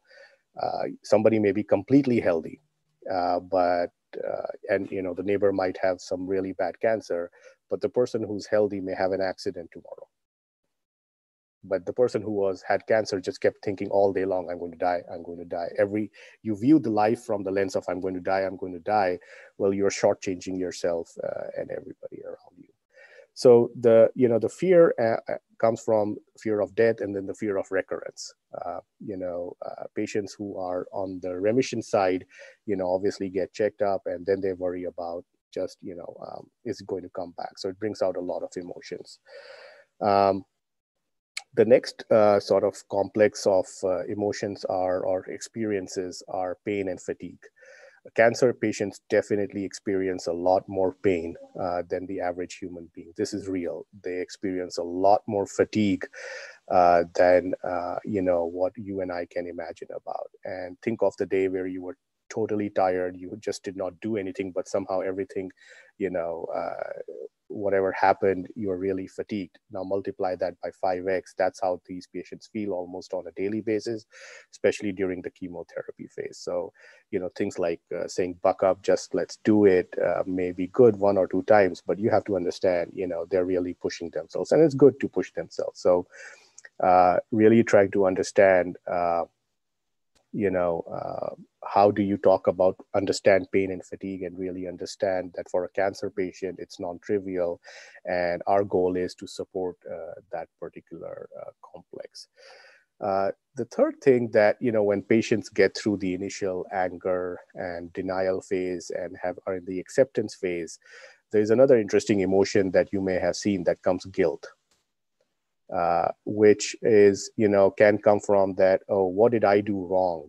Uh, now it's not the world didn't do anything wrong i did something wrong or you know i should have you know drank more hot water with lemon in the morning whatever your family's favorite uh, you know um, uh, you know hype is in uh, you know ginger water that water and or i should have not you know uh, done this uh, or maybe i'm a sinner you know that's the other thing that in our indian ecosystem and many other ecosystem um, you know comes in where uh, we think that this is a function of my bad deeds in this life or i love the fact that we still talk about previous life uh, as if you know it's a guaranteed thing uh, and uh, you know that somehow has caused me to get cancer you know I'm not learned enough to argue against that or for that. But what I will tell you is that it's an unhealthy thing to think about that somehow I gave this to myself. Yeah, if you were smoking a lot, if you were, you know, really obese and you messed up your liver and that led to some disease or cancer, sure, you did it to yourself in some ways. Uh, but it's not that straightforward. Uh, nobody likes to do anything like this. And, uh, you know so the guilt and the blame complex go together. You try to you know feel it blame yourself blame your family blame your friends. And it sort of uh, it's an interesting emotion because the people feel that uh, I, I, don't know it gives them something to hang on to uh, something to focus their emotions on because focusing on i have to now go through six rounds of chemotherapy you know it will be a lot of struggle and challenges. Those are uh, difficult emotions for somebody to go to the next one I'll speak about is social issues. And for me, I find that very challenging. You know, it's one thing for the patient to go through what they're going and go through that emotion. There's a little bit of justification I feel, you know, I can extend to them. But we as a society, I'll just tell you, do a piss poor job of supporting our patients and family members with cancer. It's almost like we think I did something right, you did something wrong. That's why you have cancer. I'm a vegetarian. Uh, you know, this guy's a non-vegetarian um, I don't drink alcohol, you drink alcohol. Uh, I pray to the right God, you pray to the wrong God. You know, literally, you know, we laugh about these things, but trust me, uh, in our own families, there are people who think like that. Uh, you know, these days, obviously, I won't get COVID because I do pranayam in the morning and I have high immunity. So good luck. Uh, really, you know, they go through these kinds of things. Uh, so our goal as the uh, social circle of people who may have cancer is to be supportive and is to listen. Uh, it's the role of the doctor and the care team to provide medical advice. Our goal is to listen to understand versus listen to respond. Uh, so I'll say it again listen to understand versus listen to respond. And I find that, you know, when people say, oh, I had a really rough day, uh, and uh, you know uh, i just want to lie down they're like no no no uh, you know uh, here i got this special you know dish that i cooked for you and it helped my mama g 10 years ago so it's definitely going to help you or something like that. So you you know uh, you get all those and you're all trying to help. It's coming from a good place but it's very misplaced. That's the challenge. You know someday the patient might just want to be alone you know read a book and go for a walk or you know just think stop and think um, and uh, we just don't give them that space. We feel that if i leave them alone i'm doing them a disservice. Uh, so you know really learning to say what does this person want? And uh, not trying to course correct that person to what we think our values are. Uh, i'll give you an example. I have had patients who are 76 78 years old with terminal cancer and the daughter came to me and said uh, i'm just so flabbergasted. I said what happened? Uh, she said my dad still wants to smoke uh, and he has lung cancer. I said, okay, so what's the problem? Uh, she said, but this is what gave him the cancer. I said, yeah, but he's not getting better, right? Uh, you do know that. So if the dude wants to smoke for the last 16 weeks of life, I'll buy him a cigarette packet. You know, uh, what's the problem here? You know, so it's it, life is not a punishment. Uh, you know, I, I remember, you know, I had the privilege of helping my wife's grandmother in her last few days. Uh, she didn't have any particular disease except diabetes and all that. And as, you know, she was coming towards the end, her blood sugar started dropping and we took her off almost every diabetic medicine. And then I get a frantic call. She wants to eat ice cream. I'm like, she's 86 years old she wants to eat ice cream all day give her ice cream all day what, what are you trying to do to her you know so let's keep life in perspective here you know for a 46 year old with bad diabetes to eat ice cream yes i'll get on the phone and chew them out. But you know an 89 year old just wanting to have ice cream uh, even if you know it's bad for them why do you want to talk about it? So really uh, think of a cancer person's uh, journey as from a quality of life perspective. So when we say, okay, you have these treatments that can be given to you, what I try to tell anybody is you as a patient have the right to decide, do you want to go through this or not? So if a patient who has a curable cancer says, no, I don't want to go through the pain, the radiation, the surgery that comes with this, and I will just deal with whatever comes my way, as long as they're of sound mind and have thought this through. It is our responsibility as caregivers and family members to respect that. And what I find very challenging in India is half of the time we don't even tell the patient. Uh, and this is not something that happened 20 years ago when I used to still live in India. This is, I'm talking about six months ago when uh, another classmate of ours, sorry, we have very interesting classmates, um, and uh, you know uh, the mother-in-law has cancer. And i'm like have you told uh, amma about it? They're like no we're going to tell her in a month. So the person who has cancer doesn't know. Everybody in the family knows the person has cancer. I am somebody she's never met in her life living like 3000 miles away. I know she has cancer so in uh, at least the us way of thinking that is actually uh, a violation of a patient's privacy and rights uh, i personally think whatever you may think that your father or your mother is incapable of handling the truth, that's not your place to decide that. The patient has to be told everything before anybody else knows. Uh, we actually see this in Hispanic culture as well, uh, especially for the mother of the family. They will not tell the mother the bad thing the son or the daughter uh, will want to know. And because there is a language barrier in many cases of uh, the mother only knowing Spanish, uh, you know, having recently migrated, the English speaking person will hold all the information. And I've had situations where I'm standing in the room. I'm like, no, tell it to them. I know enough words of Spanish to know whether you told the truth to that person or not. And just getting the family to tell the person the truth. They deserve to know the truth. Uh, it is they who are going through it the rest of us are not going through it so that's uh, you know some of the challenges that we speak about uh, and then the social stigma uh, i think it's important to talk about that as well breast cancer is interesting in the sense that uh, a lot of uh, patients lose their hair uh, as you know, through the chemotherapy. Now, you know, there are better, well, not better, but different drugs that have much uh, reduced risk of hair loss. Um, and, uh, you know, there are hospitals, at least I know of many here. I don't know how many of the, how much of that happens in India, where they proactively will, you know, set you up with a wig before you start a chemotherapy. Uh, imagine having to go look for a wig uh, when you're already going through chemotherapy and throwing up and losing your hair. So uh, this is something here we do before you go through chemotherapy and get a wig.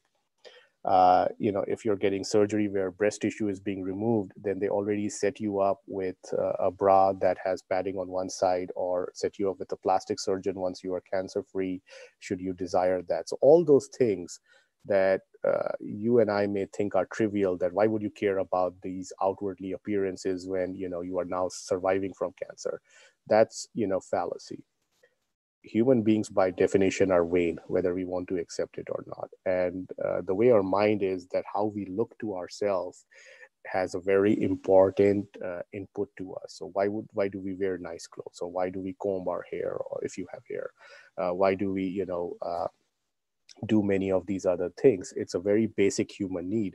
So for us as family members to think, I can't believe my mother is worried about her hair when she has cancer uh, is, uh, you know, outright not okay.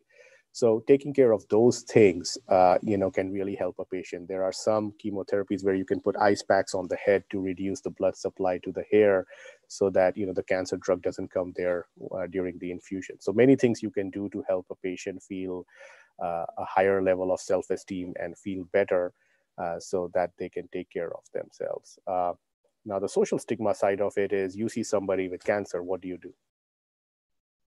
If I was in a classroom, I would have, you know, called on all the backbenchers and uh, asked them to give an example, but we can't do that today. So we turn our eyes away. That's what we do.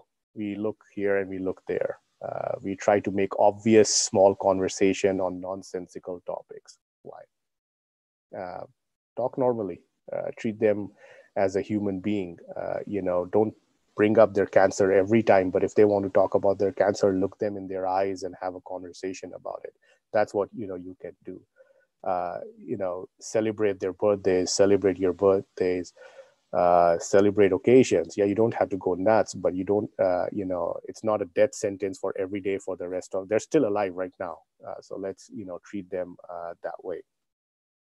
So that you know talks a lot about uh, the patient. Then I'll go into something that I think is often missing to a very big degree in Indian culture, is the primary caregiver. So in my mother's case, it's my father uh, who's a primary caregiver and you know in somebody else's cases it might be the parent it might be the spouse it might be one of the child but there's always one primary caregiver. And uh, studies have shown really detailed sociological studies that the emotion complex that a cancer patient goes through the primary caregiver goes through almost the same level of it. So the depression the anxiety the fear everything you're almost parallel to it because you're living with that person you're dealing with it every day.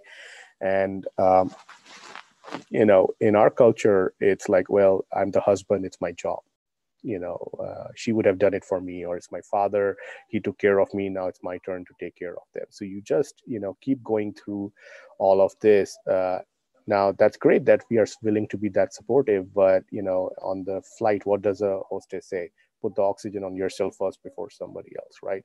So never has that been more true than a situation like this and I can tell you, as many times I've had a conversation with my father that, hey, can you take a break? Uh, you know, what do you do for yourself? And he looks at me as if, like, I thought you were an intelligent son. What kind of a stupid question is that? You know, uh, so, you know, just the concept that the primary caregiver needs a break, the primary caregiver need can feel all these things uh, is just like when you talk about it, it's like you're almost, uh, you know, um, engaging in blasphemy, uh, that's what you are doing when it comes around. So uh, that can cause the primary caregiver to go through their own set of uh, psychosocial, emotional, uh, physical diseases. Uh, stress is definitely known to be a risk factor in cardiovascular disease for sure. and uh, you will see that play out in many cases. Their own mood swings, their own you know unhappiness quotient, all of those things will light up. So the first thing is that as if you're a primary caregiver of a cancer patient, acknowledge that you are the primary caregiver of that you know cancer patient. reach out to family and friends to help. Um, make the cancer patient understand slowly over time, not on day one, that you know you will need to take breaks and there is nothing wrong with that and it will be better for them you know that uh, if you take breaks because when you are taking breaks and self healing and you come back you will be a better caregiver to that person. And you know i see this in so many cases where eh, that uh, relationship becomes a very pathological codependency relationship. I have to take care of x x is like you have to take care of me and like you forget that the person in front of you is a human being and also gets tired and other things. Uh, and these are not easy things to talk about. So none of what i'm talking about today is like a 30 minute conversation with uh, known to who has cancer. These are things you do. So you know simple things like if x person is the primary caregiver then you know you just show up one day and say hey uh, dad why don't you go uh, for a walk or with your friends? I'll just hang out with uh, you know mom for the next four hours and you just like send him out of the house. Now i've never been able to do that except for 15 minutes but you know um, you have to try if you know uh, you reach out to friends you reach out to family and you spend more time and allow that other person to take a complete break and do what they want to do. Uh, so really understanding the fatigue that comes with uh, being a primary caregiver it can go on for years. Uh, you know it's a non-trivial amount of uh, effort and emotional pull that you're putting. A lot of these things create financial stress. So you know what we don't realize is going through a cancer diagnosis um, you know often causes people to drop out of their employment uh, or go into you know partial employment. Uh, so many other things that you know uh, start getting in the way uh, that you have to think about. Um, so i know i've been speaking a lot. I will just very quickly uh, share a few resources. So one of the things to understand is when you get a cancer diagnosis besides this emotional thing uh, i feel the information gap is just insane you know, uh, whether it's India or US, uh, you go to your doctor, you get good 15, 30 minutes, if that, and they're focused on that point of your care at that point. You have 27 questions, you know, uh, why, how, where, what's next? Uh, I had, you know, this pain here, what about that? Or, you know, is my family at risk and those kinds. So, unfortunately, uh, you know our healthcare systems uh, are not designed to respond to that need. And if you do a survey of cancer patients and their families you will find that is shown to be one of the most uh, big the biggest frustration that they talk about is the information gap. So you know there's a website called uh, breastcancer.org uh, that you guys should look up. Uh, and in us there was a startup uh, well we call it a startup but what it was was you know realizing that you go through all this without much information and if you're the only one that has you know breast cancer in the extended family then no matter how nice the other people are they just don't really really understand what you're going through and what your needs are. I mean as much as you try that's the reality. Um, so there is a website called patients like me now unfortunately over time it's become a little commercialized and has become sort of a you know way to catch data from patients and monetize it. But still you know communities uh, online communities like patients like me is uh, a wonderful resource uh, where you can literally go and say i have this kind of irritable bowel disease this variant and suddenly you realize there are 50 patients uh, you know uh, like me and uh, that allows you to talk in context and it's very powerful. So you know uh, what i found uh, you know really troubling deeply emotionally troubling is uh, when our friend Jasleen passed away and you know I was visiting from US and I went to visit her I saw the isolation she was going through even though she was living in a joint family of people just didn't understand what it is to be her right now.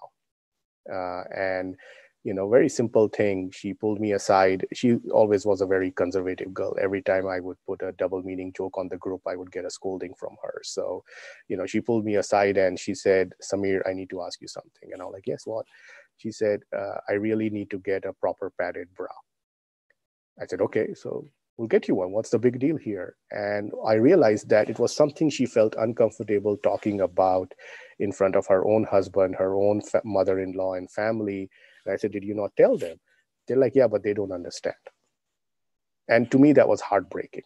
That, uh, you know, forget chemotherapy and everything like that. Something as small as what she needed for her comfort. She had just gotten surgery uh, that was so difficult for her to bring up. And, you know, in that moment, almost everything that I have written up today to speak to you gets captured. You know, the isolation, the depression, the anxiety. So, uh, that's what we have to really think about. And you know who else would understand what she's going through? Another patient who has breast cancer. They'll be like yeah i got this. I can help you figure it out. So you know we helped her but uh, to feel that people don't understand what i'm going through and i have to ask is not a nice situation to be in uh, in any means. So those are things that we have to think about a lot of patients who go through cancer therapy have trouble doing activity of daily living. So that's a term we use here, ADLs, which basically you can think of as self-care. You know, being able to bathe yourself, use the restroom, clean yourself, shave if you are a guy. Um, well, that's why I keep a beard. I don't have to shave every day. It's the best thing I ever did. Um, so, you know, it's uh, those are things that uh, you have specialized physical therapy. And I know now in India you can get good physical therapy, but 20 years ago it was like, you know, you better have had a spine accident that you'll probably get access to that. So those kinds of things, you know, really help. Nutrition uh, unfortunately our uh, notions about nutrition are very misplaced you know uh, that you know non-veg food is bad vegetarian food is good. It's nothing like that. Within non-vegetarian food and vegetarian food there are good foods and bad foods. Uh, eat a potato every day and you pretty much are killing yourself. You know I, I often tell my friends and they don't like hearing it that eating rice and potatoes you might as well eat a gulab jamun. You'll get more emotional happiness and save amount of sugar in your body. So uh, those are kinds of things that you know they have to talk about. So then personal image we spoke about you know uh, prosthetics uh, like padded bras or plastic surgery uh, scar removal hair uh, you know uh, when it's needed. And i'll tell you it's interesting. My mother's hair went away and boy that was the main thing she was upset about. You can make whatever judgments you want. Here's a lady who might die uh, is worried about her hair. And I can tell you, all of us are like that, all of us. And now when I go back and see her, the first thing she says is, "Mere baal kaise lag rahe hain?" And I literally have to go, "What? What did you just ask me?" I thought she would ask me about her diabetes or you know uh, other things she's going through. She says, "Baal kaise lag rahe hain?" Well, that's what uh, you know um, is important to her. Uh, the final thing I'll say is post traumatic mm-hmm. stress disorder. So I would read up on PTSD uh, as much as you can. Normally, we speak about it in cases of, you know, soldiers coming back from the war or people exposed to tremendous amount of physical, emotional, or sexual abuse uh, at some point in their life. Uh, that's also real for breast cancer patients. Um, so for me to go back and now tell my mother, I can't believe you're talking about your hair. You're lucky to have survived cancer. That's me missing, uh, you know, the boat here. She has PTSD, hands down. So when we are willing to take a person for chemotherapy and radiation and physical therapy, why are we not willing them uh, to take them for PTSD or other psychiatric uh, psychological issues uh, to a trained cognitive behavior therapist or a um, you know a psychologist who specializes in that. So i would say that as much time as you spend researching the oncologist the surgeon for a loved one who goes through this take the time to think about a behavioral therapist and other kinds of experts who can help not just for the patient. Maybe if you're the primary caregiver uh, find a group of primary caregivers people like you who are helping somebody with uh, a loved one with cancer. The support you can get from them you can't get from even your best friend uh, because context in everything is important. So I'll stop there. Um, I know we're almost at the end of our time, uh, and I'm happy to answer any questions.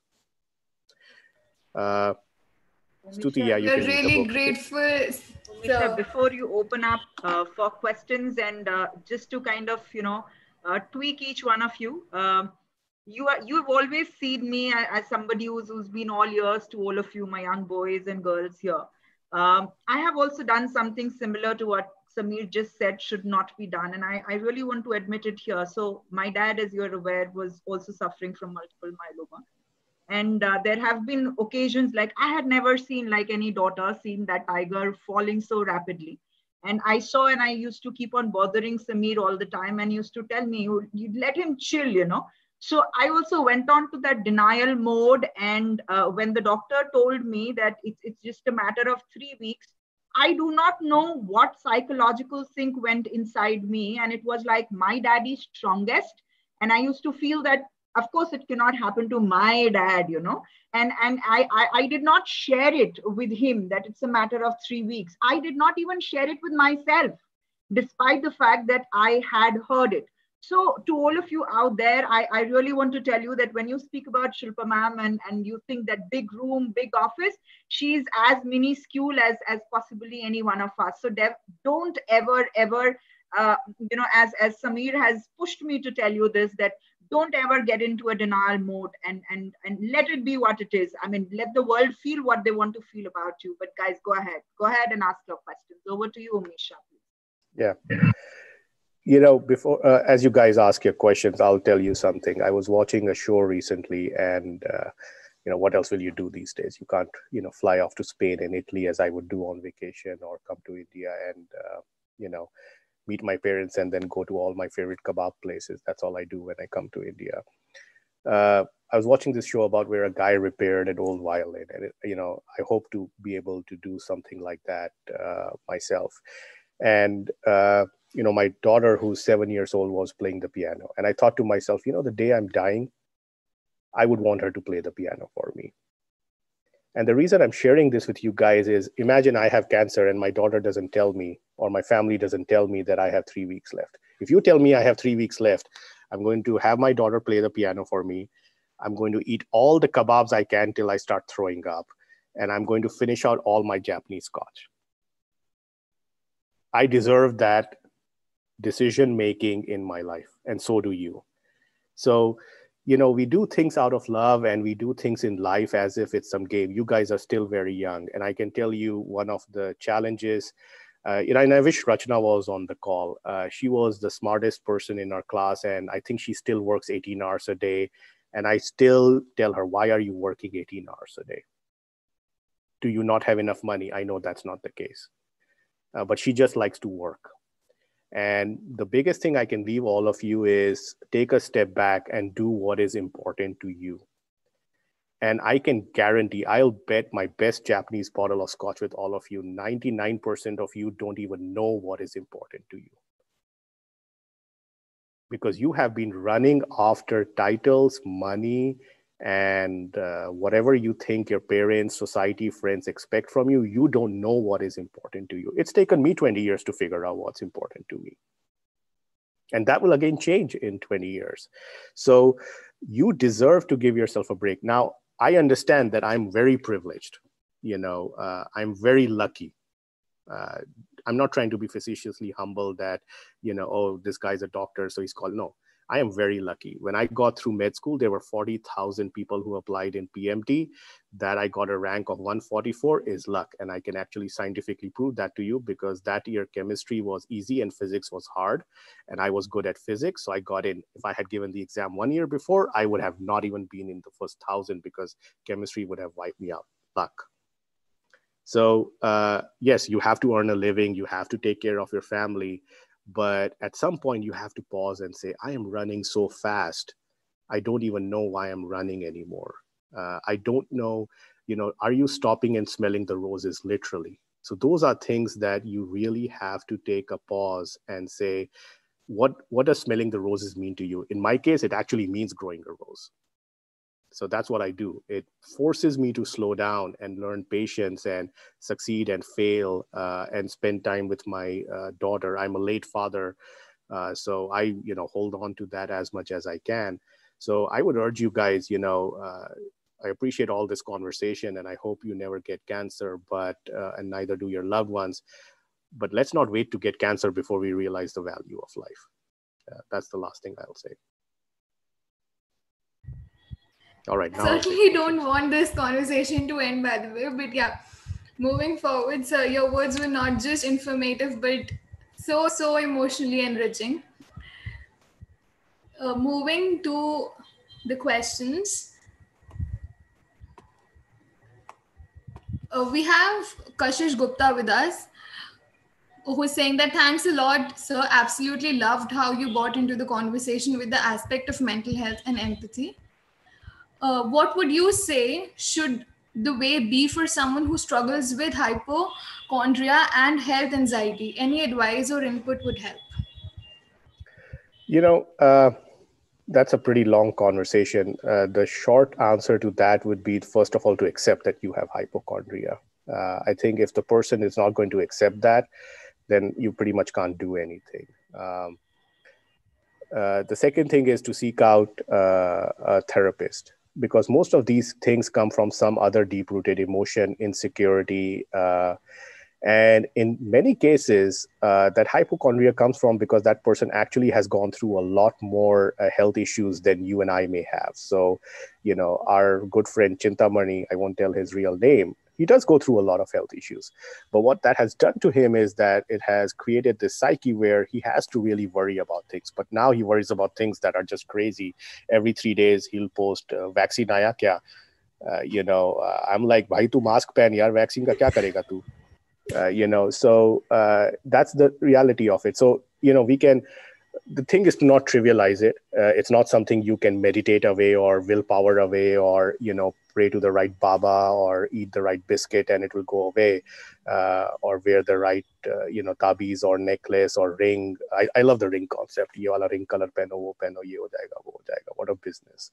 Uh, you know, so uh, none of those things help. It's acknowledgement and then it's also uh, seeking out the root cause of it and it could be emotional psychological and actual really health issues and uh, then just trying to you know work your way back from it. It's like the fear of heights. It's the fear of closed spaces. Uh, you know it takes time. And you will never get to uh, a level of normalcy whatever normal means in this world. I've never figured out that concept as well. What is normal? Um, so uh, that's what how i would answer that question. Thank you for your answer sir.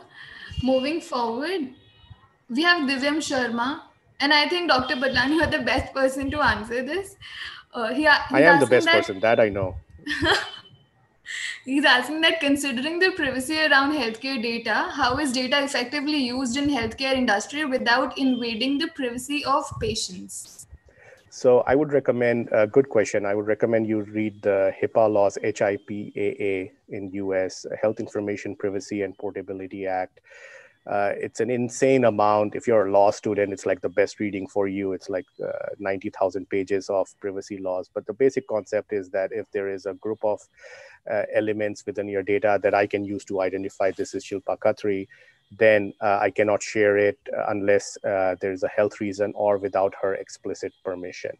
So in India, you know how on WhatsApp suddenly you will see that Sharma and Dean B block now has COVID. In USA, that would get you to jail uh, because you absolutely have no right to know Sharma auntie has COVID in B block. Uh, so, uh, or you know, somebody will get a lab report of uh, some liver disease, and literally everybody in the family will forward it to twenty thousand people in India. Are my mama ji's son has this. Does anybody know what this is? No, you can't do that. WhatsApp so, University works good here. well you know it, it's an amazing invasion of privacy.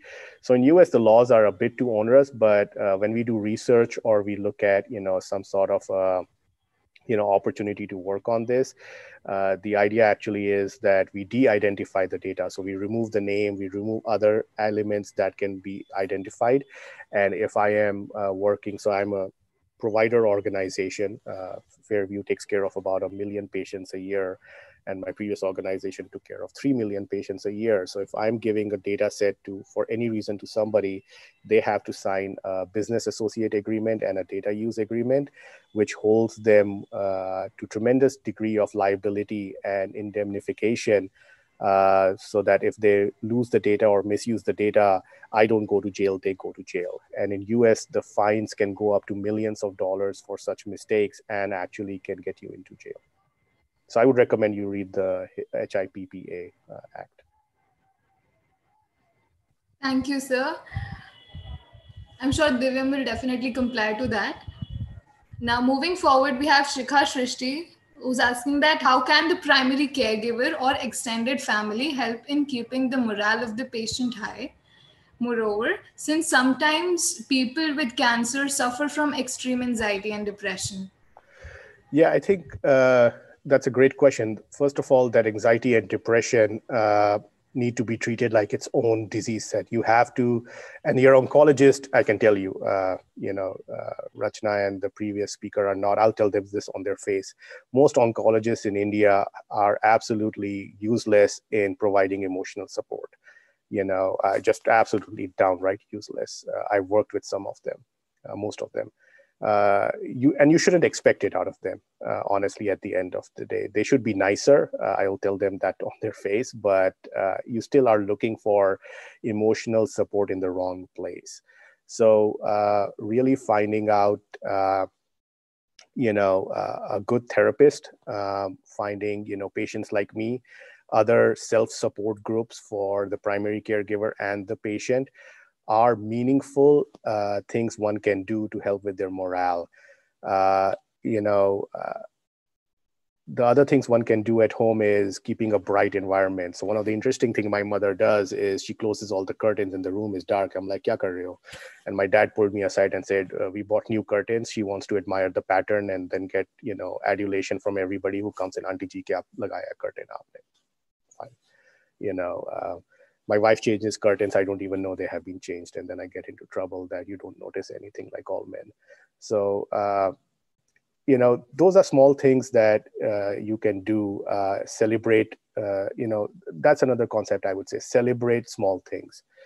In india especially we are so in tune to celebrating only big events and big things and other stuff like that. We forget life is about small things big things is not about it.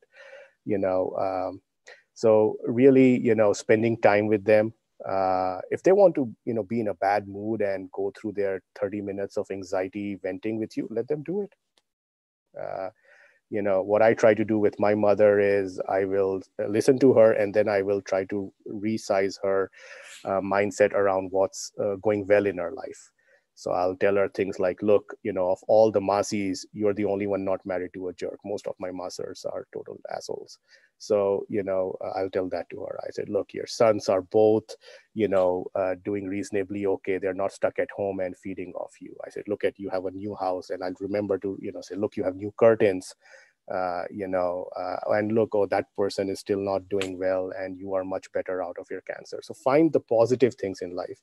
And I would encourage all of you to do it. We often focus on things that are wrong and not going well and we absolutely forget what's going well and what's good in our life so you know really think about what is going well in their life and keep reinforcing it you know uh, so those are things that uh, you know uh, will really make a difference I, I, do apologize. I have to, my workday has started. We start quite early here, so I have to jump off. But this was an absolute pleasure and uh, my privilege to share my thoughts and ideas with all of you, and happy to do it on another topic some other time as well.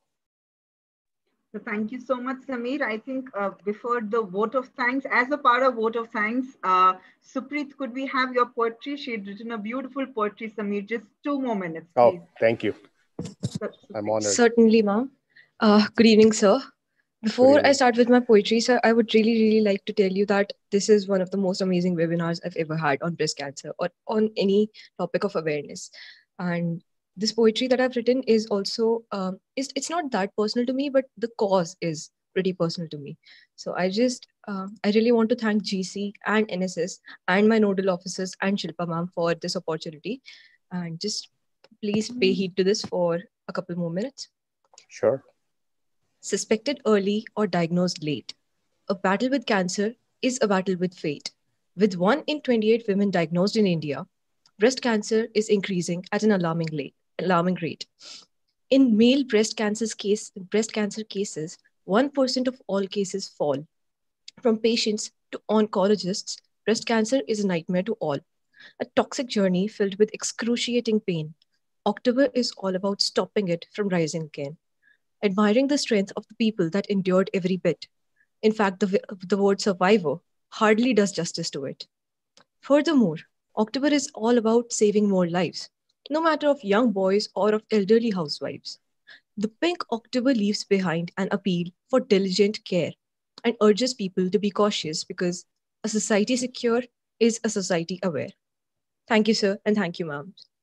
Thank you. That's wonderful poetry. Thank you so much. All right. Uh, you guys take care. Uh, wear your masks. They do work above your nose. Um, wash your hands. Don't touch your eyes and maintain distance. That's the only thing that's going to help with COVID. Uh, you know, um, uh, this, uh, you know, Ramdev ka biscuit and uh, your favorite tabis and your favorite, you know, pearl ring, none of those are going to work. I'm sorry to break your bubble if that's what you think. Uh, just take care of yourself, do the right thing, and uh, you know this too shall pass. And uh, if you're stuck at home, enjoy time with your family. you may not get that time again. take care. Thank you, buddy. God bless. Take care. Thank you so Bye, much, sir, for such an insightful session and for your time. Absolutely. My only regret is I didn't get to trouble Rachana. That's I enjoyed that tremendously as Shilpa knows. We'll Uh, do that Rachna- in the group. Take care. yeah, Rachna is a very serious person, so uh, it's my life goal to trouble her. But uh, all right, take care, guys. Thank you so much, sir. Thank you. Over to you, ma'am. Uh, I would like to thank Dr. Badlani for being here and helping us look at breast cancer from a social and psychological perspective. Uh, we are so grateful to have been granted this opportunity to conduct this webinar on breast cancer awareness. I extend our deepest gratitude towards the guest speakers who made time to raise awareness around and sensitizing about this issue. Dr. Vikas Talreja, Dr. Rachna uh, Dr. Samir Badlani, it was truly an honor to have you all with us today. I thank the audience for their interaction and participation and eagerness to learn more about the sensitive issue of breast cancer. I would like to extend my deep gratitude towards the management of VIPS who gave us this brilliant opportunity to raise awareness about such a significant uh, topic and provided us- us with all possible support to the successful conduct of this webinar. I am immensely thankful uh, to Professor Shilpa Khatri Babbar for being a constant support and providing her meaningful guidance throughout this campaign. Ma'am, this webinar and this campaign would not have been possible without you. I thank my colleagues, Dr. Sunil Mishra and Dr. Anshu Gagal for their help and support. And lastly, but not the least, I would like to thank uh, this brilliant team of NSS and Gender Champions Club uh, who work together day and night and make this uh, webinar possible. Thank you, dear students. Uh, much love. Thank you so much, ma'am.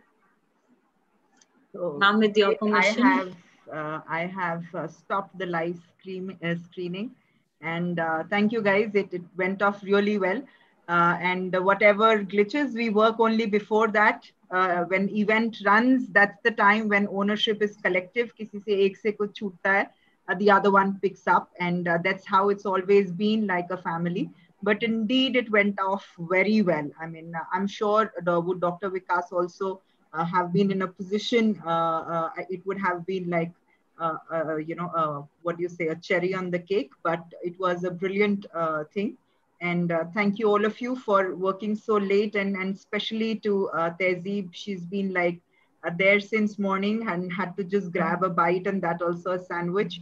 So your kebabs are due. We'll go to Lucknow together and we'll do that. Sure. so, uh, okay, God bless you guys. Uh, maybe take a leave now. Yes, yes, ma'am. Thank you so much, ma'am.